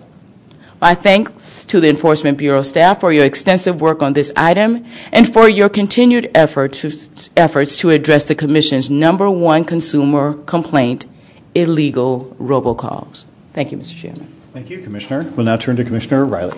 Thank you, Chair, Mr. Chairman. I appreciate the opportunity to speak. I generally don't make too many comments about NALs, but a couple things here and why I concurred. And one is it goes to the presentation that, that, that was made, and the, sentence, if I understood it correctly, was spamming consumers with robocalls. And there's two parts there that caused me heartburn. One, later on it was clarified it was illegal robocalls, and quite frankly, it's not spam. And I, I, what, I guess it gets to the, to the heart of the item and what I'm asking for and have asked for and sought out of the Enforcement Bureau is more precise uh, items. And, and we we had this issue, and I raised it. It didn't seem to get addressed because I don't believe there's an intent to harm by Mr. Abramovich. I think there's an, a, definitely an intent to defraud. I think Commissioner Clyburn mentioned defrauding uh, and a number of different terms that would go with it, but I don't know that he's in- intentionally trying to harm people, and that's what the standard is uh, in our rules. And then in terms of neighborhood spoofing, which has been uh, addressed, I have serious concerns that the, the, the precise structure is not uh, is intended there because there are positive aspects of VoIP that allow a consumer to use uh, a, a, a local uh, telephone number, and I don't want to see that wiped out just grabbed in total as part of a neighborhood spoofing effort. It's not all bad. It's there are precise definitions that need to be used here, and I don't know that we did that in that instance, and that's why I concurred. And hopefully, we'll, we'll address those as we go forward. Thank you, Mr. Chairman. Uh, thank you, Commissioner. Uh, have you ever gotten a call in which the phone number looks pretty familiar? The area code matches yours, the next three numbers, well, the first three numbers of the prefix matches yours, but you can't quite tell who it is. Well, so you're not alone. This sometimes results from a tactic known as neighbor spoofing. And inveterate robocallers are using it to bombard the American people with illegal robocalls without getting caught. Neighbor spoofing often tricks consumers into answering since they think the person on the other end must be someone from his or her local community. Well, as Commissioner Clyburn pointed out, robocalling is consistently the top ranked category of complaints that consumers bring to the FCC. And that's why I'm pleased today that the FCC is taking major, unprecedented action against what appears to be the most egregious neighbor spoofing robocalling scheme that we have ever seen. Adrian Abramovich, through several faux marketing companies that he owns and manages, appears to have made 96,758,223 robocalls between October 1st, 2016 and December 31st of 2016. 96,758,223. That works out to over 1 million unwanted calls every day and almost 44,000 calls every hour. Now, the scheme uh, that Mr. Abramovich apparently engaged in was described well during Ms. Uh, Thompson's presentation. I would simply observe that Mr. Abramovich appears to have been no passive party to this scheme. He apparently found it profitable to send to these live operators the most vulnerable Americans, typically the elderly, to be bilked out of their hard earned money. Many consumers spent from a few hundred dollars up to a few thousand dollars on these exclusive vacation packages. And this scheme was especially abhorrent because, as Ms. Thompson pointed out, it appears to have substantially disrupted the operations of an emergency paging, a medical paging provider, which could have had a life or death impact. Now, thanks to the tenacious sleuthing by the terrific staff of our Enforcement Bureau, we were able to connect the dots among numerous consumer complaints. And those dots, uh, when combined, showed us the scope of Mr. Abramovich's apparent scheme. The Bureau hand verified over 80,000 calls from this three month period, in addition to being bombarded with some of these calls themselves. Every single one of these hand verified calls was showed that was spoofed uh, to show what consumers must have thought was a local number. The Bureau also interviewed several people who had received calls, none of whom had provided their consent. Now, today marks the first time that the FCC has taken enforcement action against a large-scale spoofing operation under the Truth in, Calling, uh, Truth in Caller ID Act. This FCC is an active cop on the beat for our consumers, and a cop that means business when it comes to consumers' top concern, the scourge of robocalls. We aim to put unlawful robocallers out of business and to deter anyone else from hatching a business plan that depends on plundering American consumers' pocketbooks. Thank you to the dedicated staff of the Enforcement Bureau, including Vilma Anderson, Tamara Baxter, Michael Karowitz, Lisa Gelb, uh, uh, Richard Heineman, Lisa Landers, Letitia Middleton, Natasha Ramsey, Stacy Ruffin Smith, Michael Scarato, Danielle Spasanisic, Christy Thompson, Kim Thorne, Melanie Tiano, Bridget Washington, and Lisa Williford for the meticulous work that went into this very complex investigation. Uh, the item having been adopted, you are now excused from the table. Thank you, Madam Secretary. Actually, you stay where you are. I think we're going to do. Uh, I think that concludes our agenda. I'm so wound up. All right. Uh, does anyone have any announcements that they would like to make? Yes, a, a couple of you don't mind, Mr. Chair, if, if you give me permission to stay at the table. Thank you. Sing it. It's even better. Don't don't tempt me. Um, I would like uh, to uh, introduce uh, the summer interns uh, uh, for the Clyburn team. Uh, if you're here, please stand. Jamila Toussaint is a third-year law student at the University of Georgia School of Law. She is also a graduate of Howard University, where she received her degree in legal communications and sociology. I'd like to welcome her to the team. Jeremy Greenberg is a third-year law student at Georgetown University. He's a graduate of Ithaca College, where he received his degree in cinema, photography, and the media arts. And uh, Alicia Valentine is a PhD student in Communications, Culture, and Media Studies program uh, at the at Howard University. She believes in digital inclusion, um, and she believes that is an important step in creating an equitable society. Thus, her research examines cities' efforts to promote broadband services that benefit low-income and minority uh, consumers. I would like to uh, thank three uh, wonderful interns for being part of the team this summer, and um, uh, treat them well because they deserve it. Absolutely. Uh, welcome aboard, Commissioner O'Rielly. Yes, uh, thank you, Mr. Chairman. I generally don't ha- often have announcements, but I have two. One, one, both actually are quite sad, but uh, I think are, are appropriate. One, I wanted to acknowledge the passing, and I, I will apologize for pronouncing your name, but I'll say uh, Dorann Bunkin. I had a chance to uh, attend uh, her service for her passing. Uh, so, a dedicated member of the commission. Just a wonderful service to see uh, her family and, and, and how committed she was, not just to the commission, but also to her community. Uh, it was it was a very moving moment uh, to, to see how involved she was. And, and I got to say, uh, I remember working with her on an item in the Las uh, Vegas airport on channel sharing, and she was just so uh, focused on the commission, but also just more dynamic than, and that highlights how all the people in the, the uh, agency have such uh, value con- contributions outside of the building itself. And the second purpose for, for bothering everyone today is to acknowledge what everyone already knows, and that is that my chief of staff is departing um, in a few weeks to head to the House of Representatives to work for the subcommittee on uh, work for, for subcommittee chair Marsha Blackburn. There aren't enough words uh, in my vocabulary to thank Robin for all of her contributions to my office uh, and for her family for lending her to us. Um, I've always said that if there's anything positive that came from my office, it's because of my good staff, and that certainly applies to Robin. Um, if there's anything bad that came from my office, that certainly came from me myself. but uh, uh, I, I can't thank her enough for, for spending the time that she has with with us. It is a big loss to our shop, but uh, we look forward to doing whatever she wants in her new role, uh, overseeing the commission. So, so I thank you for your indulgence. Well, thank you, Commissioner O'Rielly. I'll start there. Uh, I personally scoured uh, parts zero and one of the Code of Federal Regulations to figure out whether among the ample authorities granted to the chairman of this agency, we could prevent a dedicated public servant like Robin from leaving our employ to go to Congress. I could find no such authority, so it is with great reluctance that we have to bid adieu to Robin. Uh, Robin, it's been terrific working with you uh, over the past several years. We are really grateful for your efforts uh, and, uh, more importantly, for your friendship. We wish you and your family all the best as you make the transition, and if we can ever be of service, uh, please do let us know, especially if it is in a social as opposed to a professional capacity. Sounds like you're going to have an opportunity in July.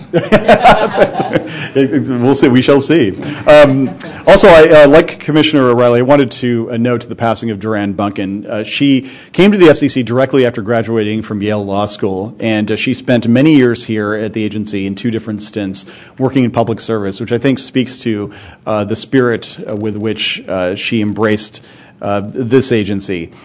She was chief policy counsel in the video bureau, video division of the media bureau as well as a member of the Incentive Auction Task Force. Uh, after playing a major role in some very complicated issues, including the Disney ABC merger, she went into private practice where she had a very accomplished tenure as a partner at Wiley Rein. Uh, she was an inspiration to many around this agency, not least to my own media advisor, Allison Nemeth. And uh, she won the Catherine Forster Public Service Award just last year here at the Commission.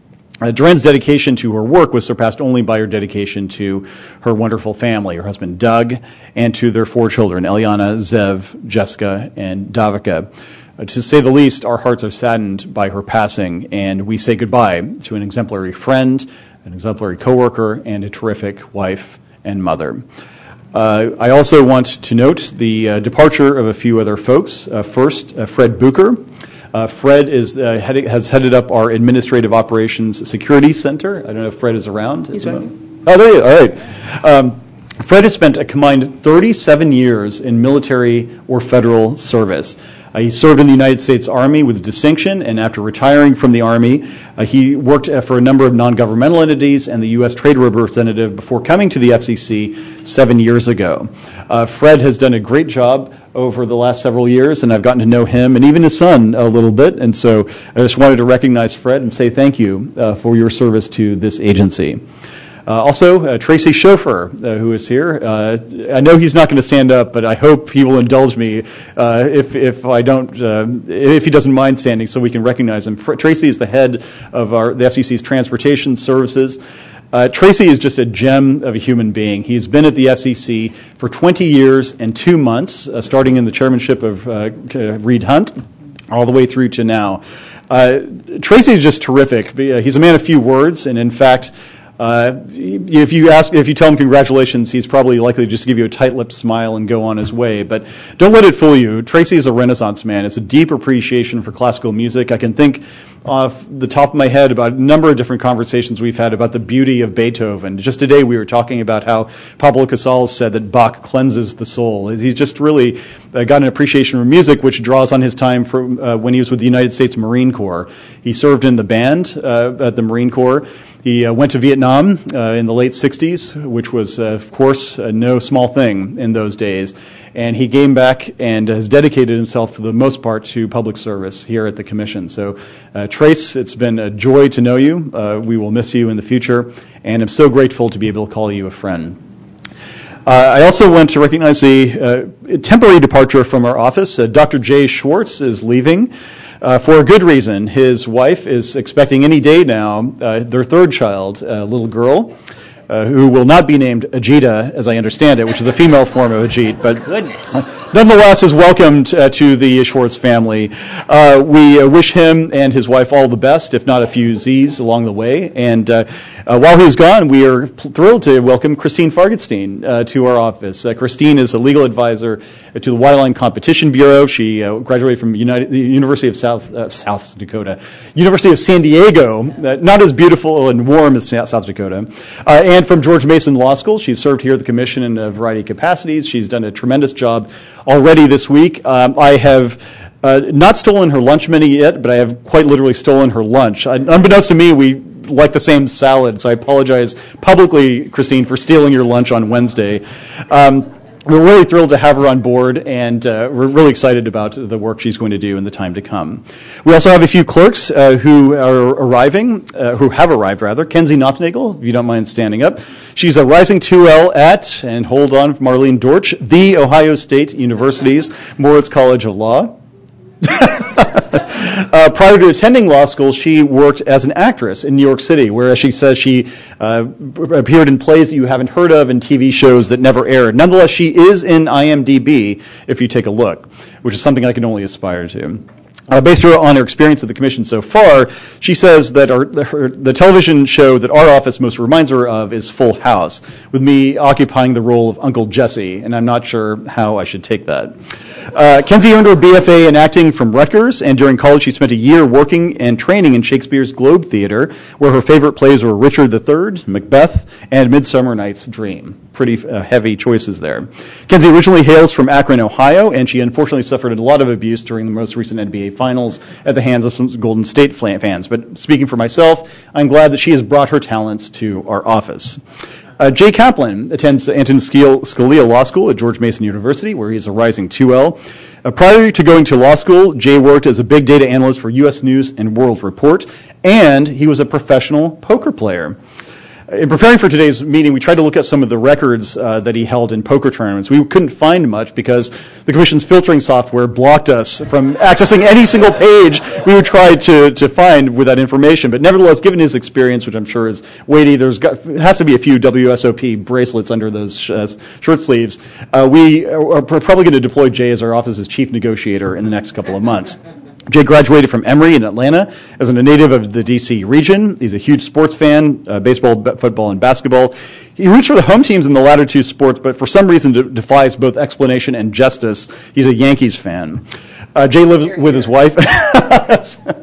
well, we all can't be perfect, of course. Um, uh, Jay lives with his wife in Arlington, and if all goes well, they will celebrate their first anniversary next week. So, welcome aboard, Jay, and don't screw it up over the next couple of days.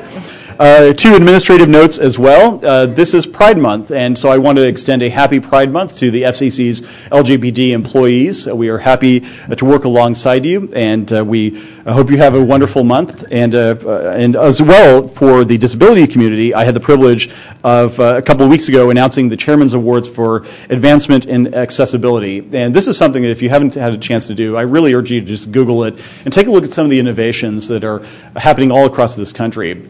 One of the things we always talk about the agency, as Commissioner Clyburn noted with uh, one of her law clerks, is uh, digital inclusion. And for a great many Americans who are blind or deaf or hard of hearing, those communications technologies that we take for granted are sometimes not accessible. Well, there's a whole slew of innovators out there who are looking to bridge that gap. And I had a chance a couple of weeks ago to recognize some of them in a public forum and congratulate them for the work that they do.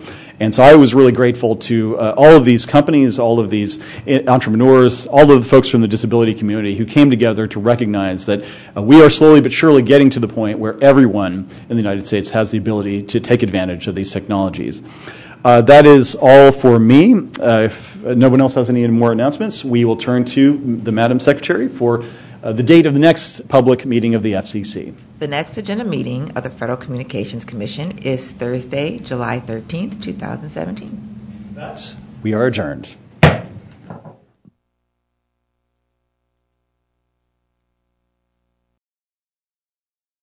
Um, we're about to begin the press conference, so if you'd like to take your seats and if any, uh, take any conversations outside, please. Uh, Chairman Pai. All right, thank you, Mark. Hey, everybody. Uh, 83 years ago this Tuesday, the Communications Act was signed into law, which, as you know, means that the FCC shares a birthday with uh, singer Paula Abdul and the rapper Macklemore. Uh, one of the core duties that Congress assigned to the FCC in 1934 was promoting safety of life and property through the use of wire and radio communications. And moments ago, the FCC paid a birthday tribute to our founders by acting on that very charge. Capping Public Safety Month at the Commission, we just adopted three items that aim to harness the power of uh, communications to enhance the safety of the American people and to the first responders who serve and protect us. Uh, first, we advanced plans to authorize a new emergency alert system code for imminent threats against law enforcement. Uh, this is an important step toward establishing a nationwide blue alert system. These alerts can warn the public when there's actionable information relating to a law enforcement officer who's been attacked or is under threat, giving citizens instructions on how they can stay safe or even supply information proactively to authorities.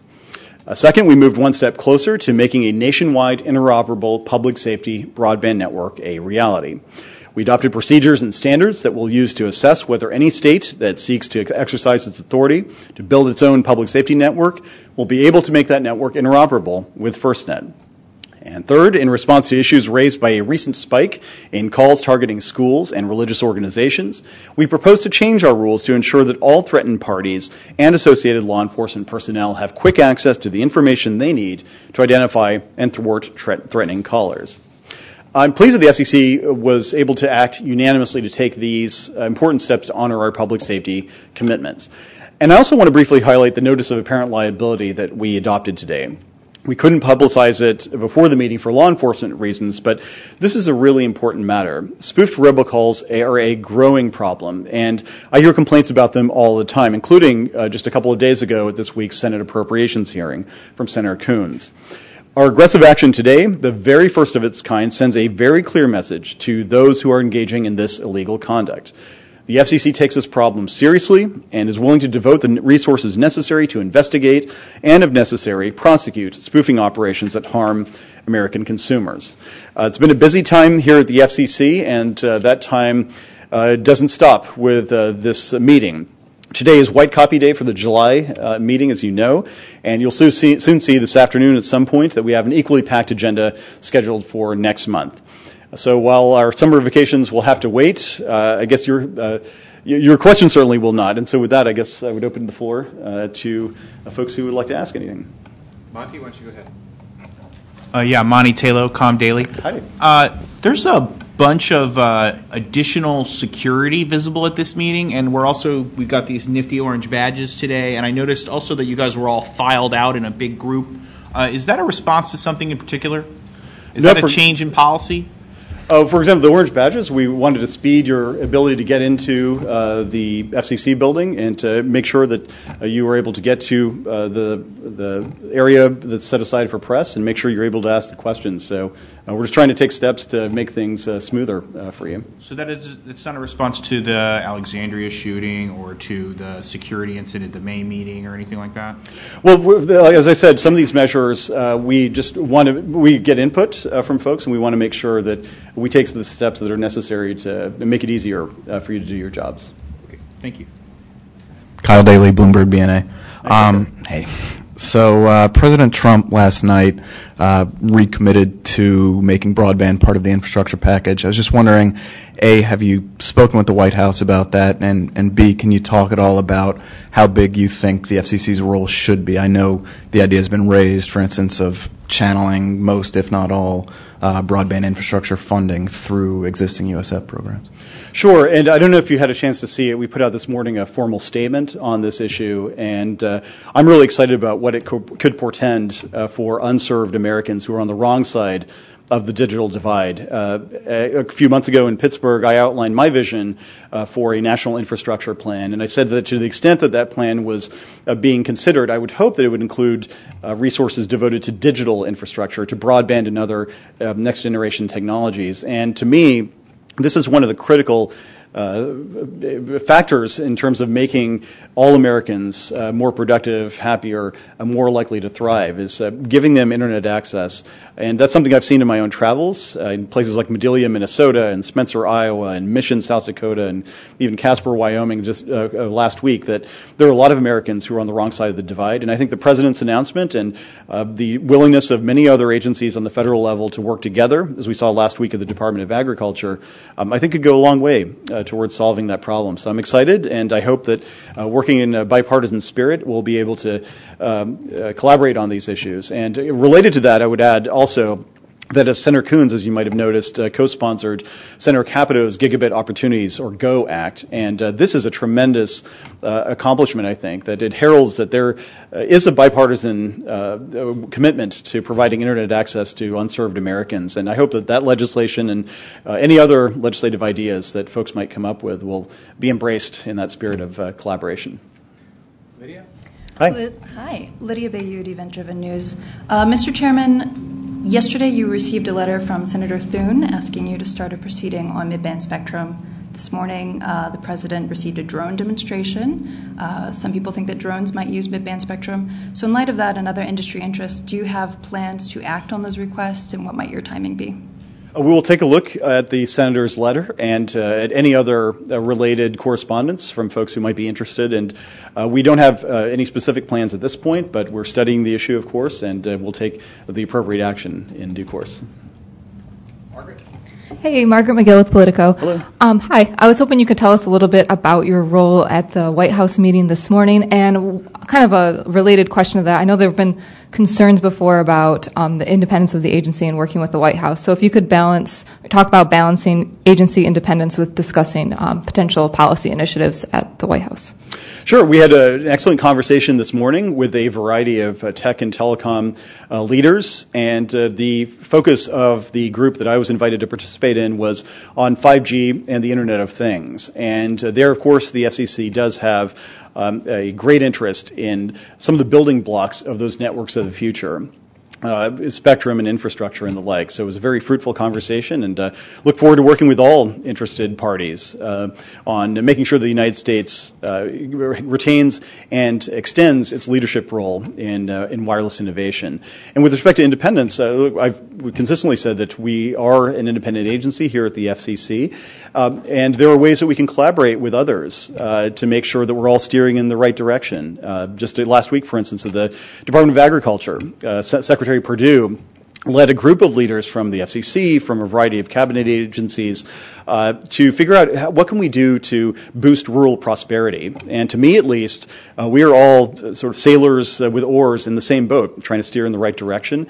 And so, to me, uh, it's an all hands on deck effort to make sure that rural Americans, in that case, and uh, wireless innovators in today's case, uh, have the tools that they need to benefit the American people.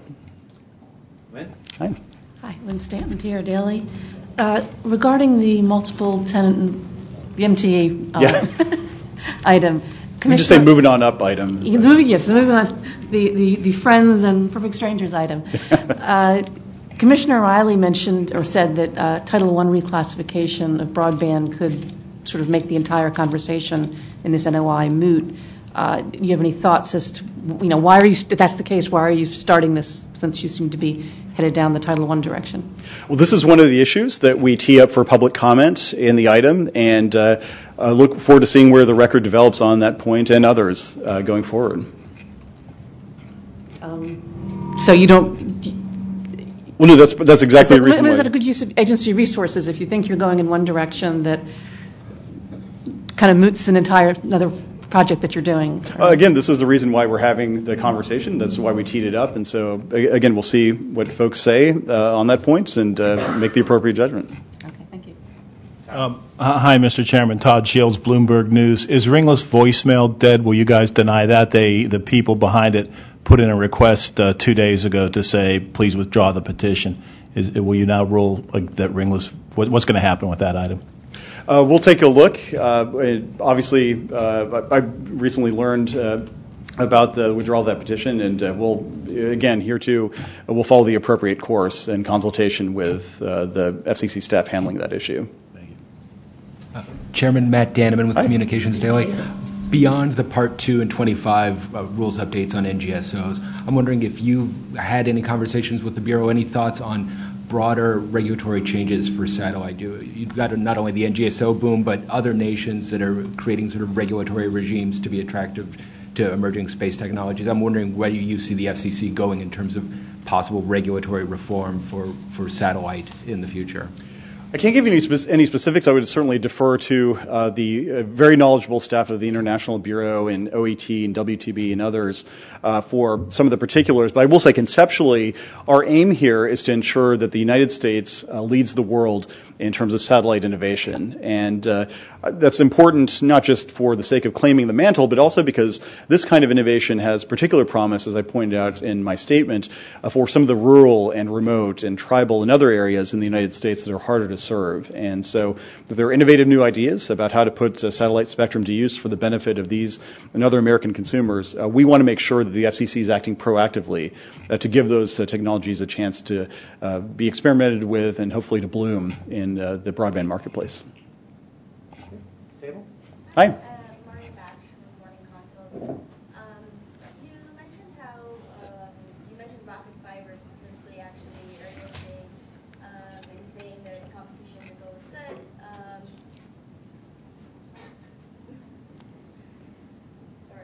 No worries. I can hear you. Okay, good. Um, Yeah, you mentioned rocket fiber specifically, saying, um, you know, it's always good for us to open up competition. Um, I wonder how you feel about um, federal funds that uh, President Trump uh, announced would go toward uh, rural broadband, some of those funds going toward cooperatives, local cooperatives, and municipal, municipal projects. Um, that would, you, do you think that would be a, a good way to boost competition more? Well, I certainly think uh, when it comes to federal funds, uh, that is a determination for the White House and Congress to make. Obviously, uh, depending on how they structure the infrastructure plan, uh, we, we will dutifully administer it. What I have said is that my hope is that uh, any funding along those lines would be channeled through the FCC's existing uh, mechanisms. Uh, they've done a, a pretty good job over the years of distributing this funding, and over the last several months, we've tried to institute measures to promote fiscal responsibility and accountability. Fiscal responsibility in the sense that we want to get the most bang for the buck uh, in terms of reverse auctions and the like, and accountability, uh, setting forth uh, build out requirements uh, with uh, reporting requi- measures and the like to make sure that the American taxpayer knows that these dollars to whoever they go to are being devoted to the build out of the network. So, again, we look forward to working with our elected counterparts, and hopefully we can make a dent in the digital divide in this regard in the future. Any more back? In the, sure. Hey, John Hendel with Politico. Yeah. Uh, just wanted to ask about Lifeline a little bit because I know that came up with the appropriators this week, where Senator Lankford was asking about kind of the timeline, and you kind of suggested in a few months there might be some sort of movement there, and wondered kind of over the next few months what are the steps you're going to be taking to to get there. I can't give any particular updates on that beyond what I said uh, to the senator during the hearing, but uh, we're going to look forward to working with him and obviously with uh, my colleagues here at the commission to see if there are steps that we can take uh, to ensure uh, that the program is uh, on a sound footing going forward and delivers value for American consumers and taxpayers. But we don't have any particular steps or specific, specific timeframes in mind in that regard. Chairman Pai Harper Neidig from The Hill. Um, I just wanted to ask if the Title II proceeding came up during your meeting at the White House this morning. I did not. I think that's it. Okay, well, thanks everyone. Have a good summer.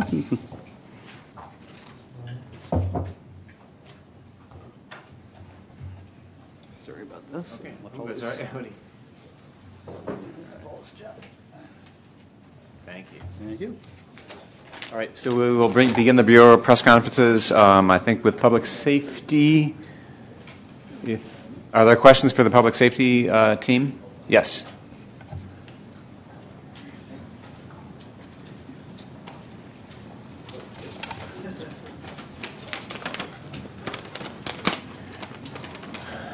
Lisa, how are you?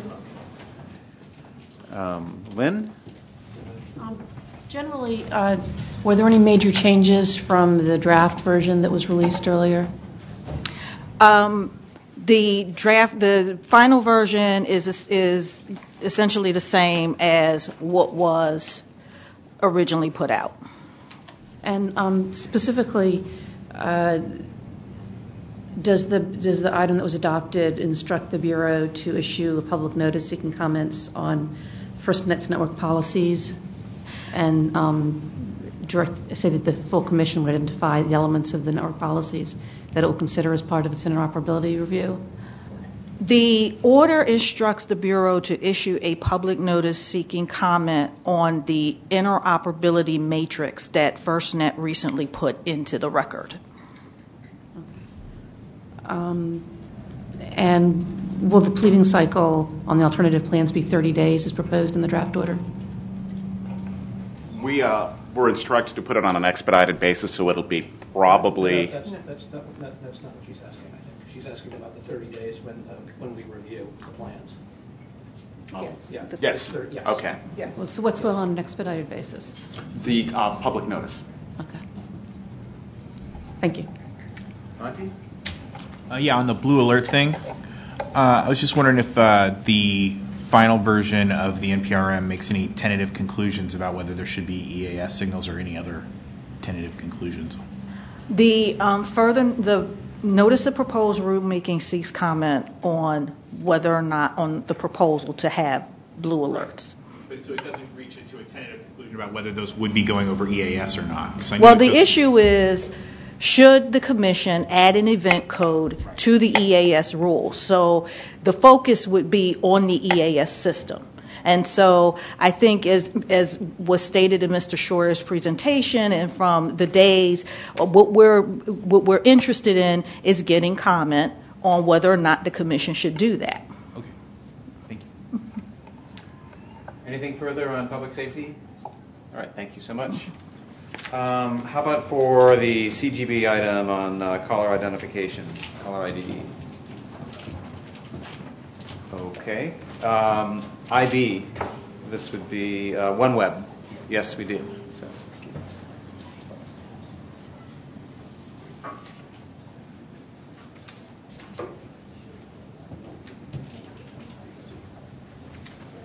Tom, how's it going? Good. Hi. Lydia. I s- assume you have the question, Oh, or? well, Lydia, Okay. okay. Uh, Matt, either, either one. I'm pretty good. Okay. Uh, Lydia Bayard, Event Driven News. What's the timing for you to act on the other satellite uh, applications that are mentioned in the order?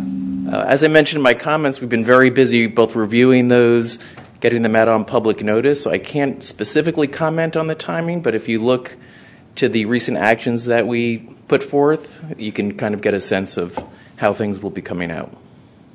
Thank you. And were there any major or significant significant changes between the draft order and the final order that's going to come out? Um, I'll let uh, Jose and Clay address that, but To my knowledge, I think they were mostly clarifications of some of the conditions based on some comments that were received. So is that correct? Okay. So, no, no, not major. Thank you. Beyond the Part 2 and 25 rules review that's going on now, where, what does the, uh, I guess sort of an echoing of what I asked the, the chairman, where does the IBC in terms of needing uh, regulatory changes in order to meet the, the NGSO, swarms of NGSOs that are, that are coming through the regulatory pipeline right now? Okay. Well, I think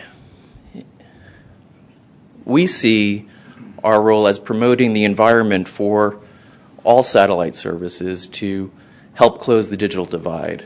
Um, we're very proud of our U.S. space industry, satellite communications sector.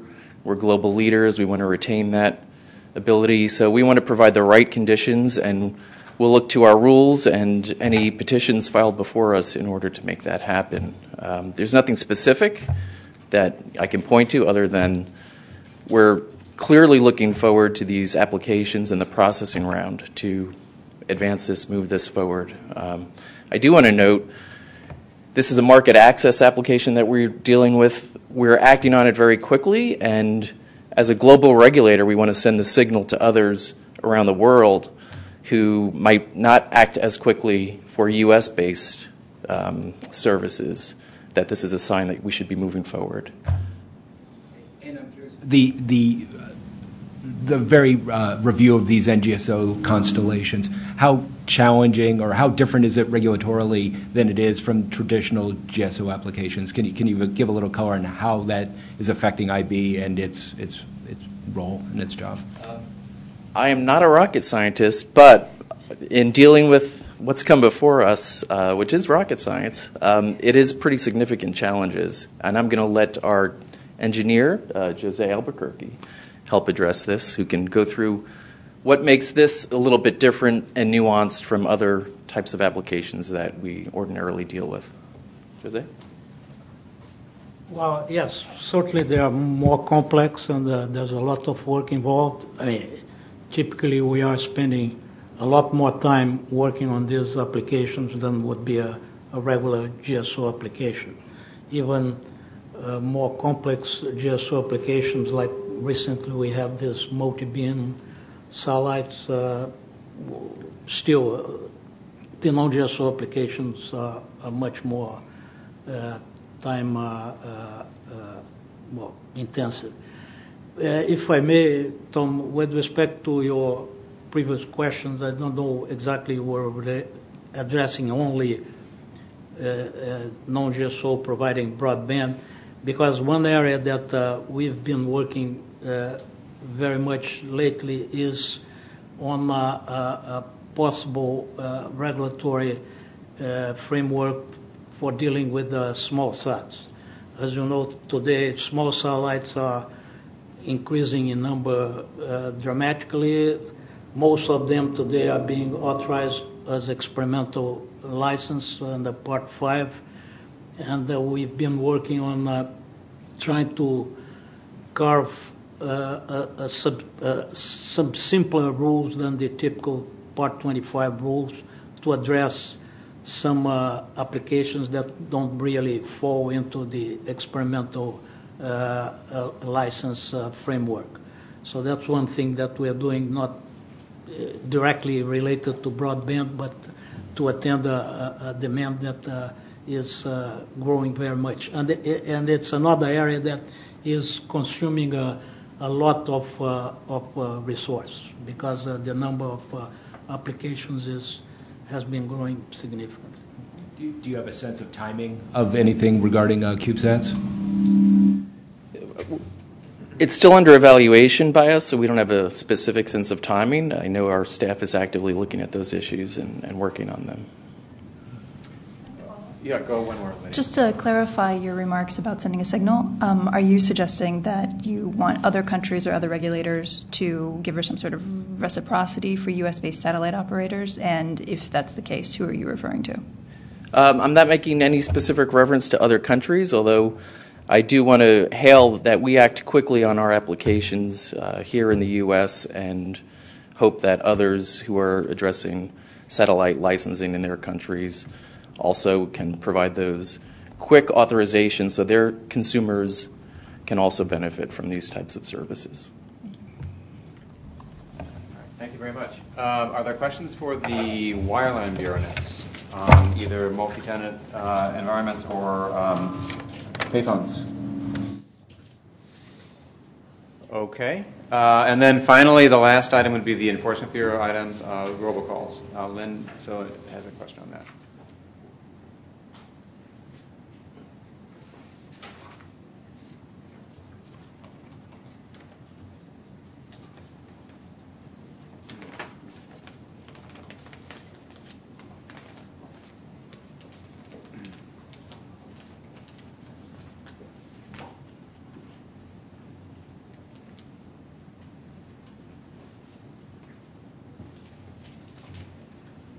Michael? Hey there.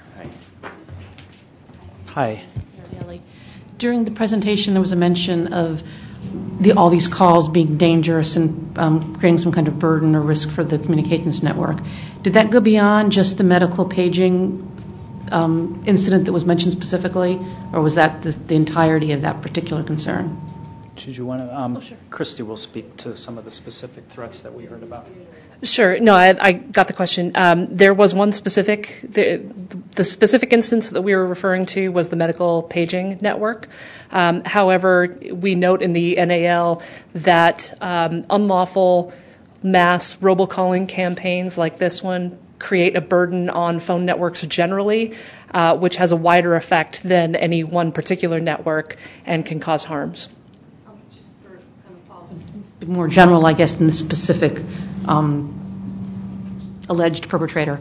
Uh, do the way they do this this neighborhood calling with the area codes and the exchange, do they is it that they're pushing them all out at once so that like every all the central office or whatever the modern day equivalent of central office is is getting overburdened because they or, or I was picturing it, you know, they've got a number that comes up and they just replicate some number that's similar, but they're not necessarily mass calling at any one time in a particular exchange. If that makes sense. Uh, so it's it's very sophisticated. It's all done through computer software programs, and each call, the, the millions of calls go out at the exact minute and even second at the same time, or, or they're they're capable of, of doing that. Um, and what the records show is that tens of thousands of calls would all happen, or hundreds of thousands of calls would all happen within the same, you know, one minute period, um, because everything is generated, com- you know, by a computer uh, program. And what the algorithm does is it, it uh, grabs the first six digits of the recipient's number, then mirrors that in the caller ID, and then selects four random digits at the end to insert into caller ID. So it's not uh, a matter of burdening any particular exchange at all. The calls are generated from from um, locations that could be, you know, thousands of miles away from the local exchange whose number is being spoofed. Um, it, it's just inserted solely as a way of, of hiding the true origin of the traffic. So in, in this case, where were the computers that were generating the calls?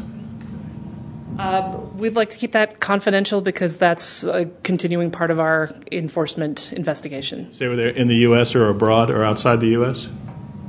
Yeah, they're located in the United States. In the United States, okay. And uh, if we could, uh, an FCC 101 or maybe 201 uh, piece of information. It's a proposed uh, uh, proposed fine now. What's the path ahead? What's the procedure? When does it, and maybe someday, become an actual fine as opposed to proposed? What, what do we mean by proposed? Oh, um, yeah. So the the procedure, you know, this is a part of the due process uh, for the, the target of this investigation. We propose these fines. The the uh, target, who in this case is Mr. Adrian Abramovich, has 30 days after uh, the NAL is issued to respond. We then consider his response. He he can uh, the, he can make a number of um, pleadings within that that are that are spelled out in the statute uh, proposing either cancellation or reduction of the fine, and he must make those showings in his response. We will then consider those arguments in due course, and the next procedural step uh, one of two things happens in an NAL generally. Either um, we, we can propose a reduction or cancellation of the penalty, uh, or a or not find his arguments uh, credible, if you know, depending on what what um, the responses and go straight to a, a forfeiture order imposing some or all of the proposed penalty. And that all comes out of the Enforcement Bureau? Uh, This would be a commission level item, so this would come out of the, the commission. Because it's o- over a certain threshold? Correct. Okay. Follow-up question. I guess this is probably the first one I remember seeing against someone who's not a, um, regulated by the commission. And you mentioned that there was some kind of notice issued earlier in the day to, to Mr. Abramovich. Is that the only sort of extra step you have to take in terms of it being someone who's not a licensee or otherwise regulated? Um, So in this case, the, the two parts of the statute apply differently. The Truth in Caller, oh, sorry, let me back up. The, the Telephone Consumer Protection Act and the, uh, and the wire fraud uh, enforcement are subject to Section 503's requirement that before a notice of apparent liability is issued, the recipient must first receive a citation warning them of the, of the conduct and the consequences for continued violation. Um, but when Congress passed the Truth in Caller ID Act of 2009, they specifically exempted that section of Section 503 uh, that requires us to send a citation before we can propose forfeitures, which is why uh, Mr. Abramovich did not receive a citation about spoofing um, before we issued the NAL directly. And that is the most communications nerd answer I think I've ever I've ever given. I have a question. Um, during, I'm Edward Graham from Morning Consult. Um, Chairman Pai said that this is the first time the FCC has taken action against the spoofing operation under the Truth in Caller ID Act. Um, is this going to be a trend moving forward? Um, This is an area that, um, you know, we have been looking into for some time, and, um, you know, if there are folks out there that are violating our rules and uh, violating the law, we're going to look to bring the full force of the Bureau down upon them. So I would say stay tuned. Thank you. Anything further? Okay, thank you. And Commissioner O'Rielly is here now uh, to take your questions. He's trying to warm up.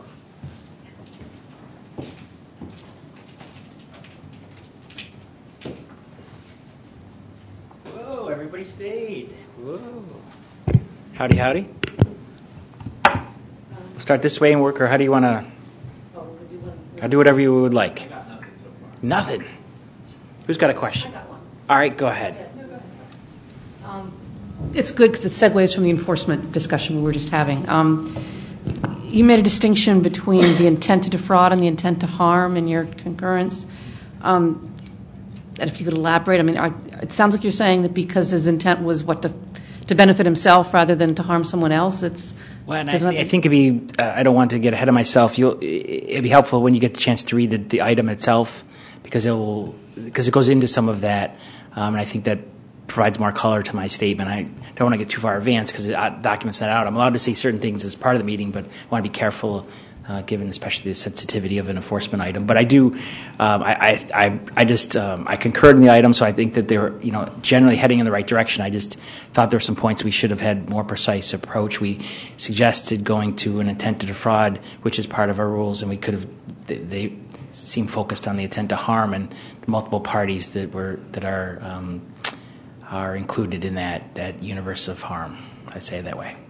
Would you would you consider descending from the final order then, if, if these issues aren't addressed? Well, or- there's a lot of steps as, the- as the Bureau just went through in terms of, you know, where the NAL goes, in terms of the responses from Mr. Abramovich, if, if he chooses to respond, and then going to a forfeiture item at some point, if that's the case. So we're premature at this point. I just, I, I think there was an opportunity to be more precise. I think there were some, certainly in the presentation, I, you know, there's just, there's wordings that, that that really matter. You know, you can't, I don't think you should call it spam.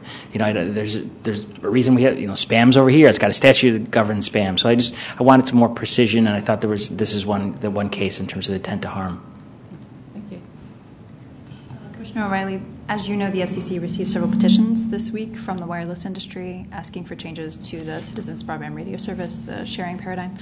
Um, What are you, can you provide some insight into your thoughts on revisiting that framework? And if so, how soon you'd like to see those petitions resolved and in what structure, like an FNPRM or wrapped into something else? So it's my understanding we put the petitions out this morning for comment, so people have an opportunity to comment on those. I, you know, it is my goal to provide a recommendation uh, to the chairman as best I can as, as soon as possible. I'd like to be able to do that, you know, this fall. Um, I'd like to wrap the whole thing up by the end of the year. I don't. That's my goal. Um, but depending, you know, a lot of different, you know, depending on how the comments come in and how the process works, it's it's will. But I've articulated my views on, the, on, on, on what I want to do in this space. At least my my initial views. I'll see if the record changes them. But I certainly want to see the PALs uh, be effective and be useful to those that may seek them. I don't think that that was done, and I made those points as part of the 3.5 item previous, and I want to see us correct those. And I think there's general agreement amongst uh, everyone, including the the unlicensed community, that have no difficulty with PALs being actually effective. Um, to be a three-tiered structure, you actually all three tiers should work, and so that's what I'm trying to accomplish. Commissioner, during the OneWeb, uh, your, concurrence on the OneWeb, you said that it raises uh, questions about issues like in inline interference and about orbital debris. Are the answers to those contained within existing FCC regulatory structure, or do these issues need to be addressed by rules changes? They are. Um, there's probably a little bit of both. There's probably some that we have. You know, I think there's more that needs to be done on debris, um, certainly, and, and I think that that's a global conversation. Um, but I think there's some that, w- that we can do and, and some we have to do in, in, partnership. And so we have to work through those. Satellites, obviously, not uh, completely domestic uh, offering, so the, there is an international component to that. Um, and I'll certainly be talking to all those folks as I head to CTEL uh, going this weekend. I was wondering, uh, there's bipartisan legislation on uh, asking the FCC to uh, create a methodology for uh, standardizing the maps, the production of maps to represent broadband coverage. Um, I wonder if you'd comment on where the commission is uh, looking at that. So I, I don't have great information in terms of where, where, what the stage is at the commission in terms of legislation that's for Congress to consult, to decide. Do I think that we can improve our 477 uh, data, both collection in terms of and, and you know um, a map is only so important. It's really does the does the data help get you to determine who is covered and who's not covered. Um, mapping is a visual impact of the data. So uh, people talk about a national broadband map, and I, it, it's helpful to some degree, but it really matters what uh, what does it matter for our purposes of trying to determine our subsidies. Uh, I think we've done a, a, fairly good job, and I think they definitely can be improved and made more precise.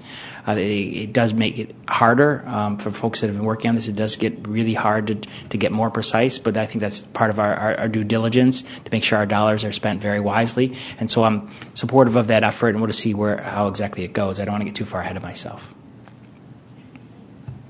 Okay. Hey, thank you. Margaret McGill with Politico. I was looking at your testimony uh, from this week's hearing, and you mentioned some problems at USAC. I'm wondering if you could maybe elaborate a little bit more on what what's going on there and kind of what changes you'd like to see. Well, I, uh, there are a number of problems. I think there are a number of issues. I've had difficulty in just um, getting answers and um, in terms of who's responsible for certain things. Um, I think that the uh, appointment of a new uh, acting head has been somewhat helpful to that process, and th- that's that's a good step. The chairman is obviously focused very closely on the particulars um, of, of more specifics, but in the, the macro sense, I think that you know we, we talk about E-rate reform. Um, I, there's no doubt that many people have heard that the computer system is in a, in a pretty precarious situation. I think that's problematic. Um, to your to your last point, you know what I think I want to do about it. I am, have advocated and, and I'm trying to figure out how best to go about uh, making a more formal presentation to uh, put the entire uh, offering out for bid. We kind of had this USAC structure that's like a nonprofit, quasi-governmental agency that, that kind of is like a it's an offshoot of us where they just basically take the, the costs off the top. Um, but they're not responsible necessarily to us, but they are, it is very unclear on those lines of communication and those lines of authority Um, it's in lines of responsibility, um, and so I, I would I recommend and, and I'm trying to figure out how best to go about it. But we should put the contract out for bid and find a different party. Maybe they, they win the bid, but I think we should we do this in a number of fronts. We've done a numbering, very complex situation, but we've done a numbering. I certainly think we can do it here, um, and should be explored fuller than uh, than just uh, you know replacing the CEO.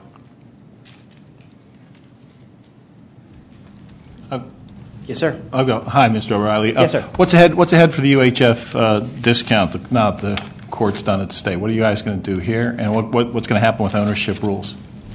So I, I think the UHF discount without the stay is where I thought it was going to be.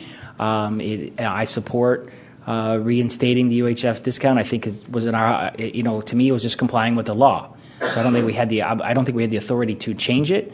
Um, and I've previously articulated and continue my views that we don't have the authority to change the national ownership cap. And but I think the chairman wants to explore that, and I said I'll let it be litigated out as we as we go forward. So I think the two are not only tied, but I think they're prohibited from changing. Um, and we'll just see if, if my position holds out uh, going forward. Um, I, I'm kind of interested to see myself. I, I have vivid memories of, the- of the conversations uh, that, that help shape those the, that policy, um, and I'm um, interested to see how it plays out. But you know, intellectually or philosophically, I don't, you know, support the. You know, I think that the changes to the national ownership cap are definitely, uh, um, definitely um, would be helpful and necessary. I don't think they reflect. I don't think 39% reflects the current marketplace and, a reality. I, it never was. At the time, it was a it was a, it was a political decision, um, which Congress gets to make. Um, but uh, I, I don't think 39% makes a, makes a lot of sense in, in today's uh, today's environment. Would it be appropriate for the FCC to consider and finish uh, its work on a Tribune Sinclair merger with all these limits in flux? So I never talk about uh, any uh, particular application pending um, or any kind of merger situation. I just kind of keep out of that best I can. Fellow can try. yes, sir. Todd just asked. Uh, Sure. Do you have any idea about when that national cap discussion is going to happen? Yeah, my apologies. I didn't answer your second part, uh, and that's what Monty just followed up on. Um, I don't have a, a I, I just from my uh, previous comments from the chairman, I think he said by the, you know sometime this year, later this year. I think is what he's previously indicated. I, I don't have any better timing from you. Yes, sir. Um, So, also following up on Todd's Yeah. question, when you talk about getting those issues litigated out, are you speaking figuratively in terms of over the course of the rulemaking I think they're going to be progress- litigated process? out, right? We're going to Right, but that would mean you'd have to, even if you don't believe that you have the authority, you- you- presumably Commissioner Clyburn isn't going to vote uh, to support changing the cap, so you would have to. You've got a ton of vote with the hypotheticals uh, in your in your question. I don't know the. Um, th- that that's fair, but I also but it goes back to, to maybe Monty's question, which goes back to to this question, which is the timing. I don't know the timing of the project, and then therefore I don't know the makeup of the commission. Uh, you know, if, if it's six months, from now, that could be a different commission. I don't know. So I don't, I don't uh, want to speak about how, how what the makeup may be. But look, at I've, I've, I've had my views. I've said I'd it be litigated out, and we'll go from there. Yes, sir. Not following up from Todd's question, uh, ATVA has uh, been making noise about the record number of blackouts that are going on this this calendar year thus far. Does the FCC have any role to play i- in regulatorily in retransmission disputes? There is, it's a, it, I've said before, I think the, the authority is very, is fairly narrow. Um, we certainly have great concern for consumers that are disrupted and want to provide as much relief as possible, but I don't think the statute provides a great role.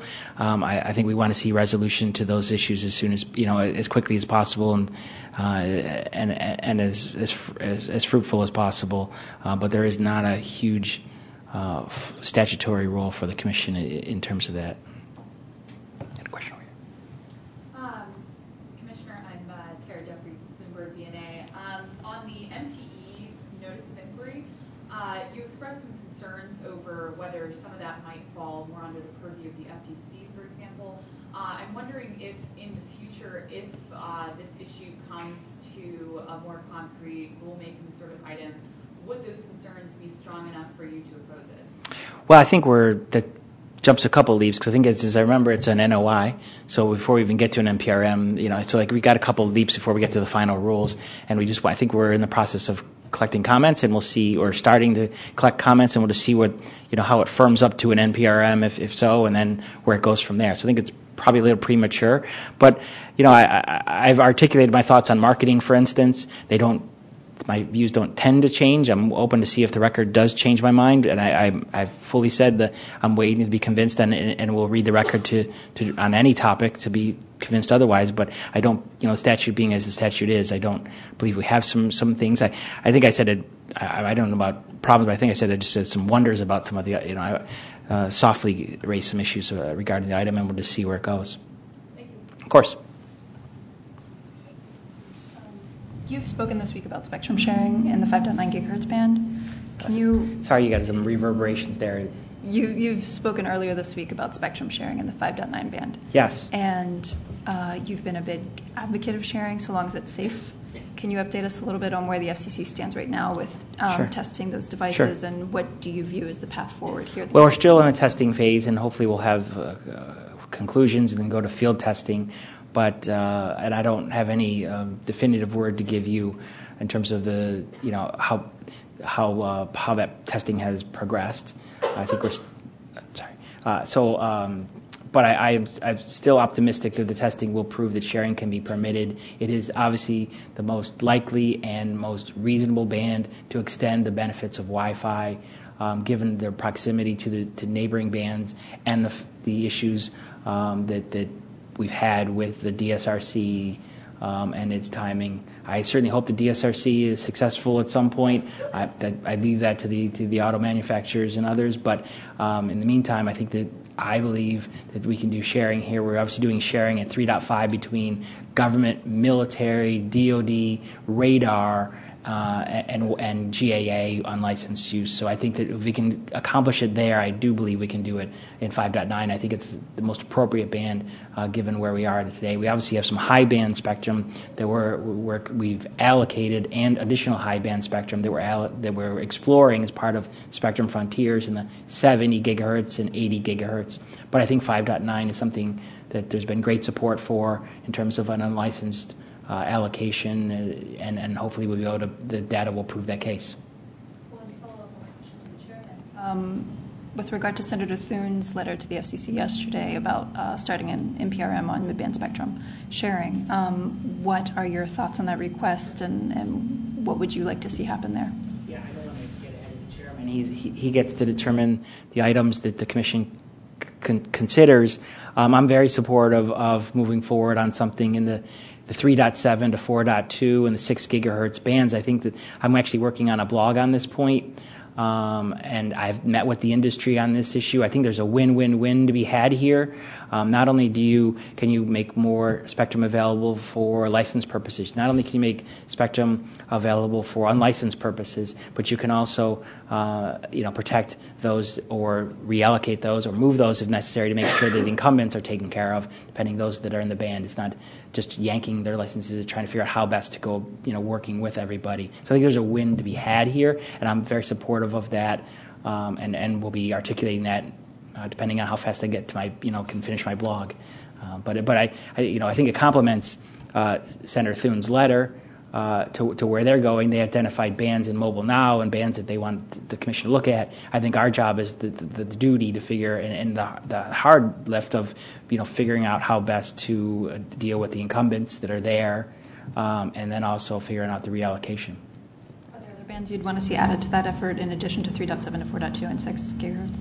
I think that's where I'd start, but there are definitely others that are being looked at. I think that's part of. Well, I don't want to get ahead of myself, but uh, that's it. All right. Any more questions from anybody here that might have a question for me from the press department? All right, I'm going to exit at this point. All right. Thanks, everyone, for their time. It's good to see you all.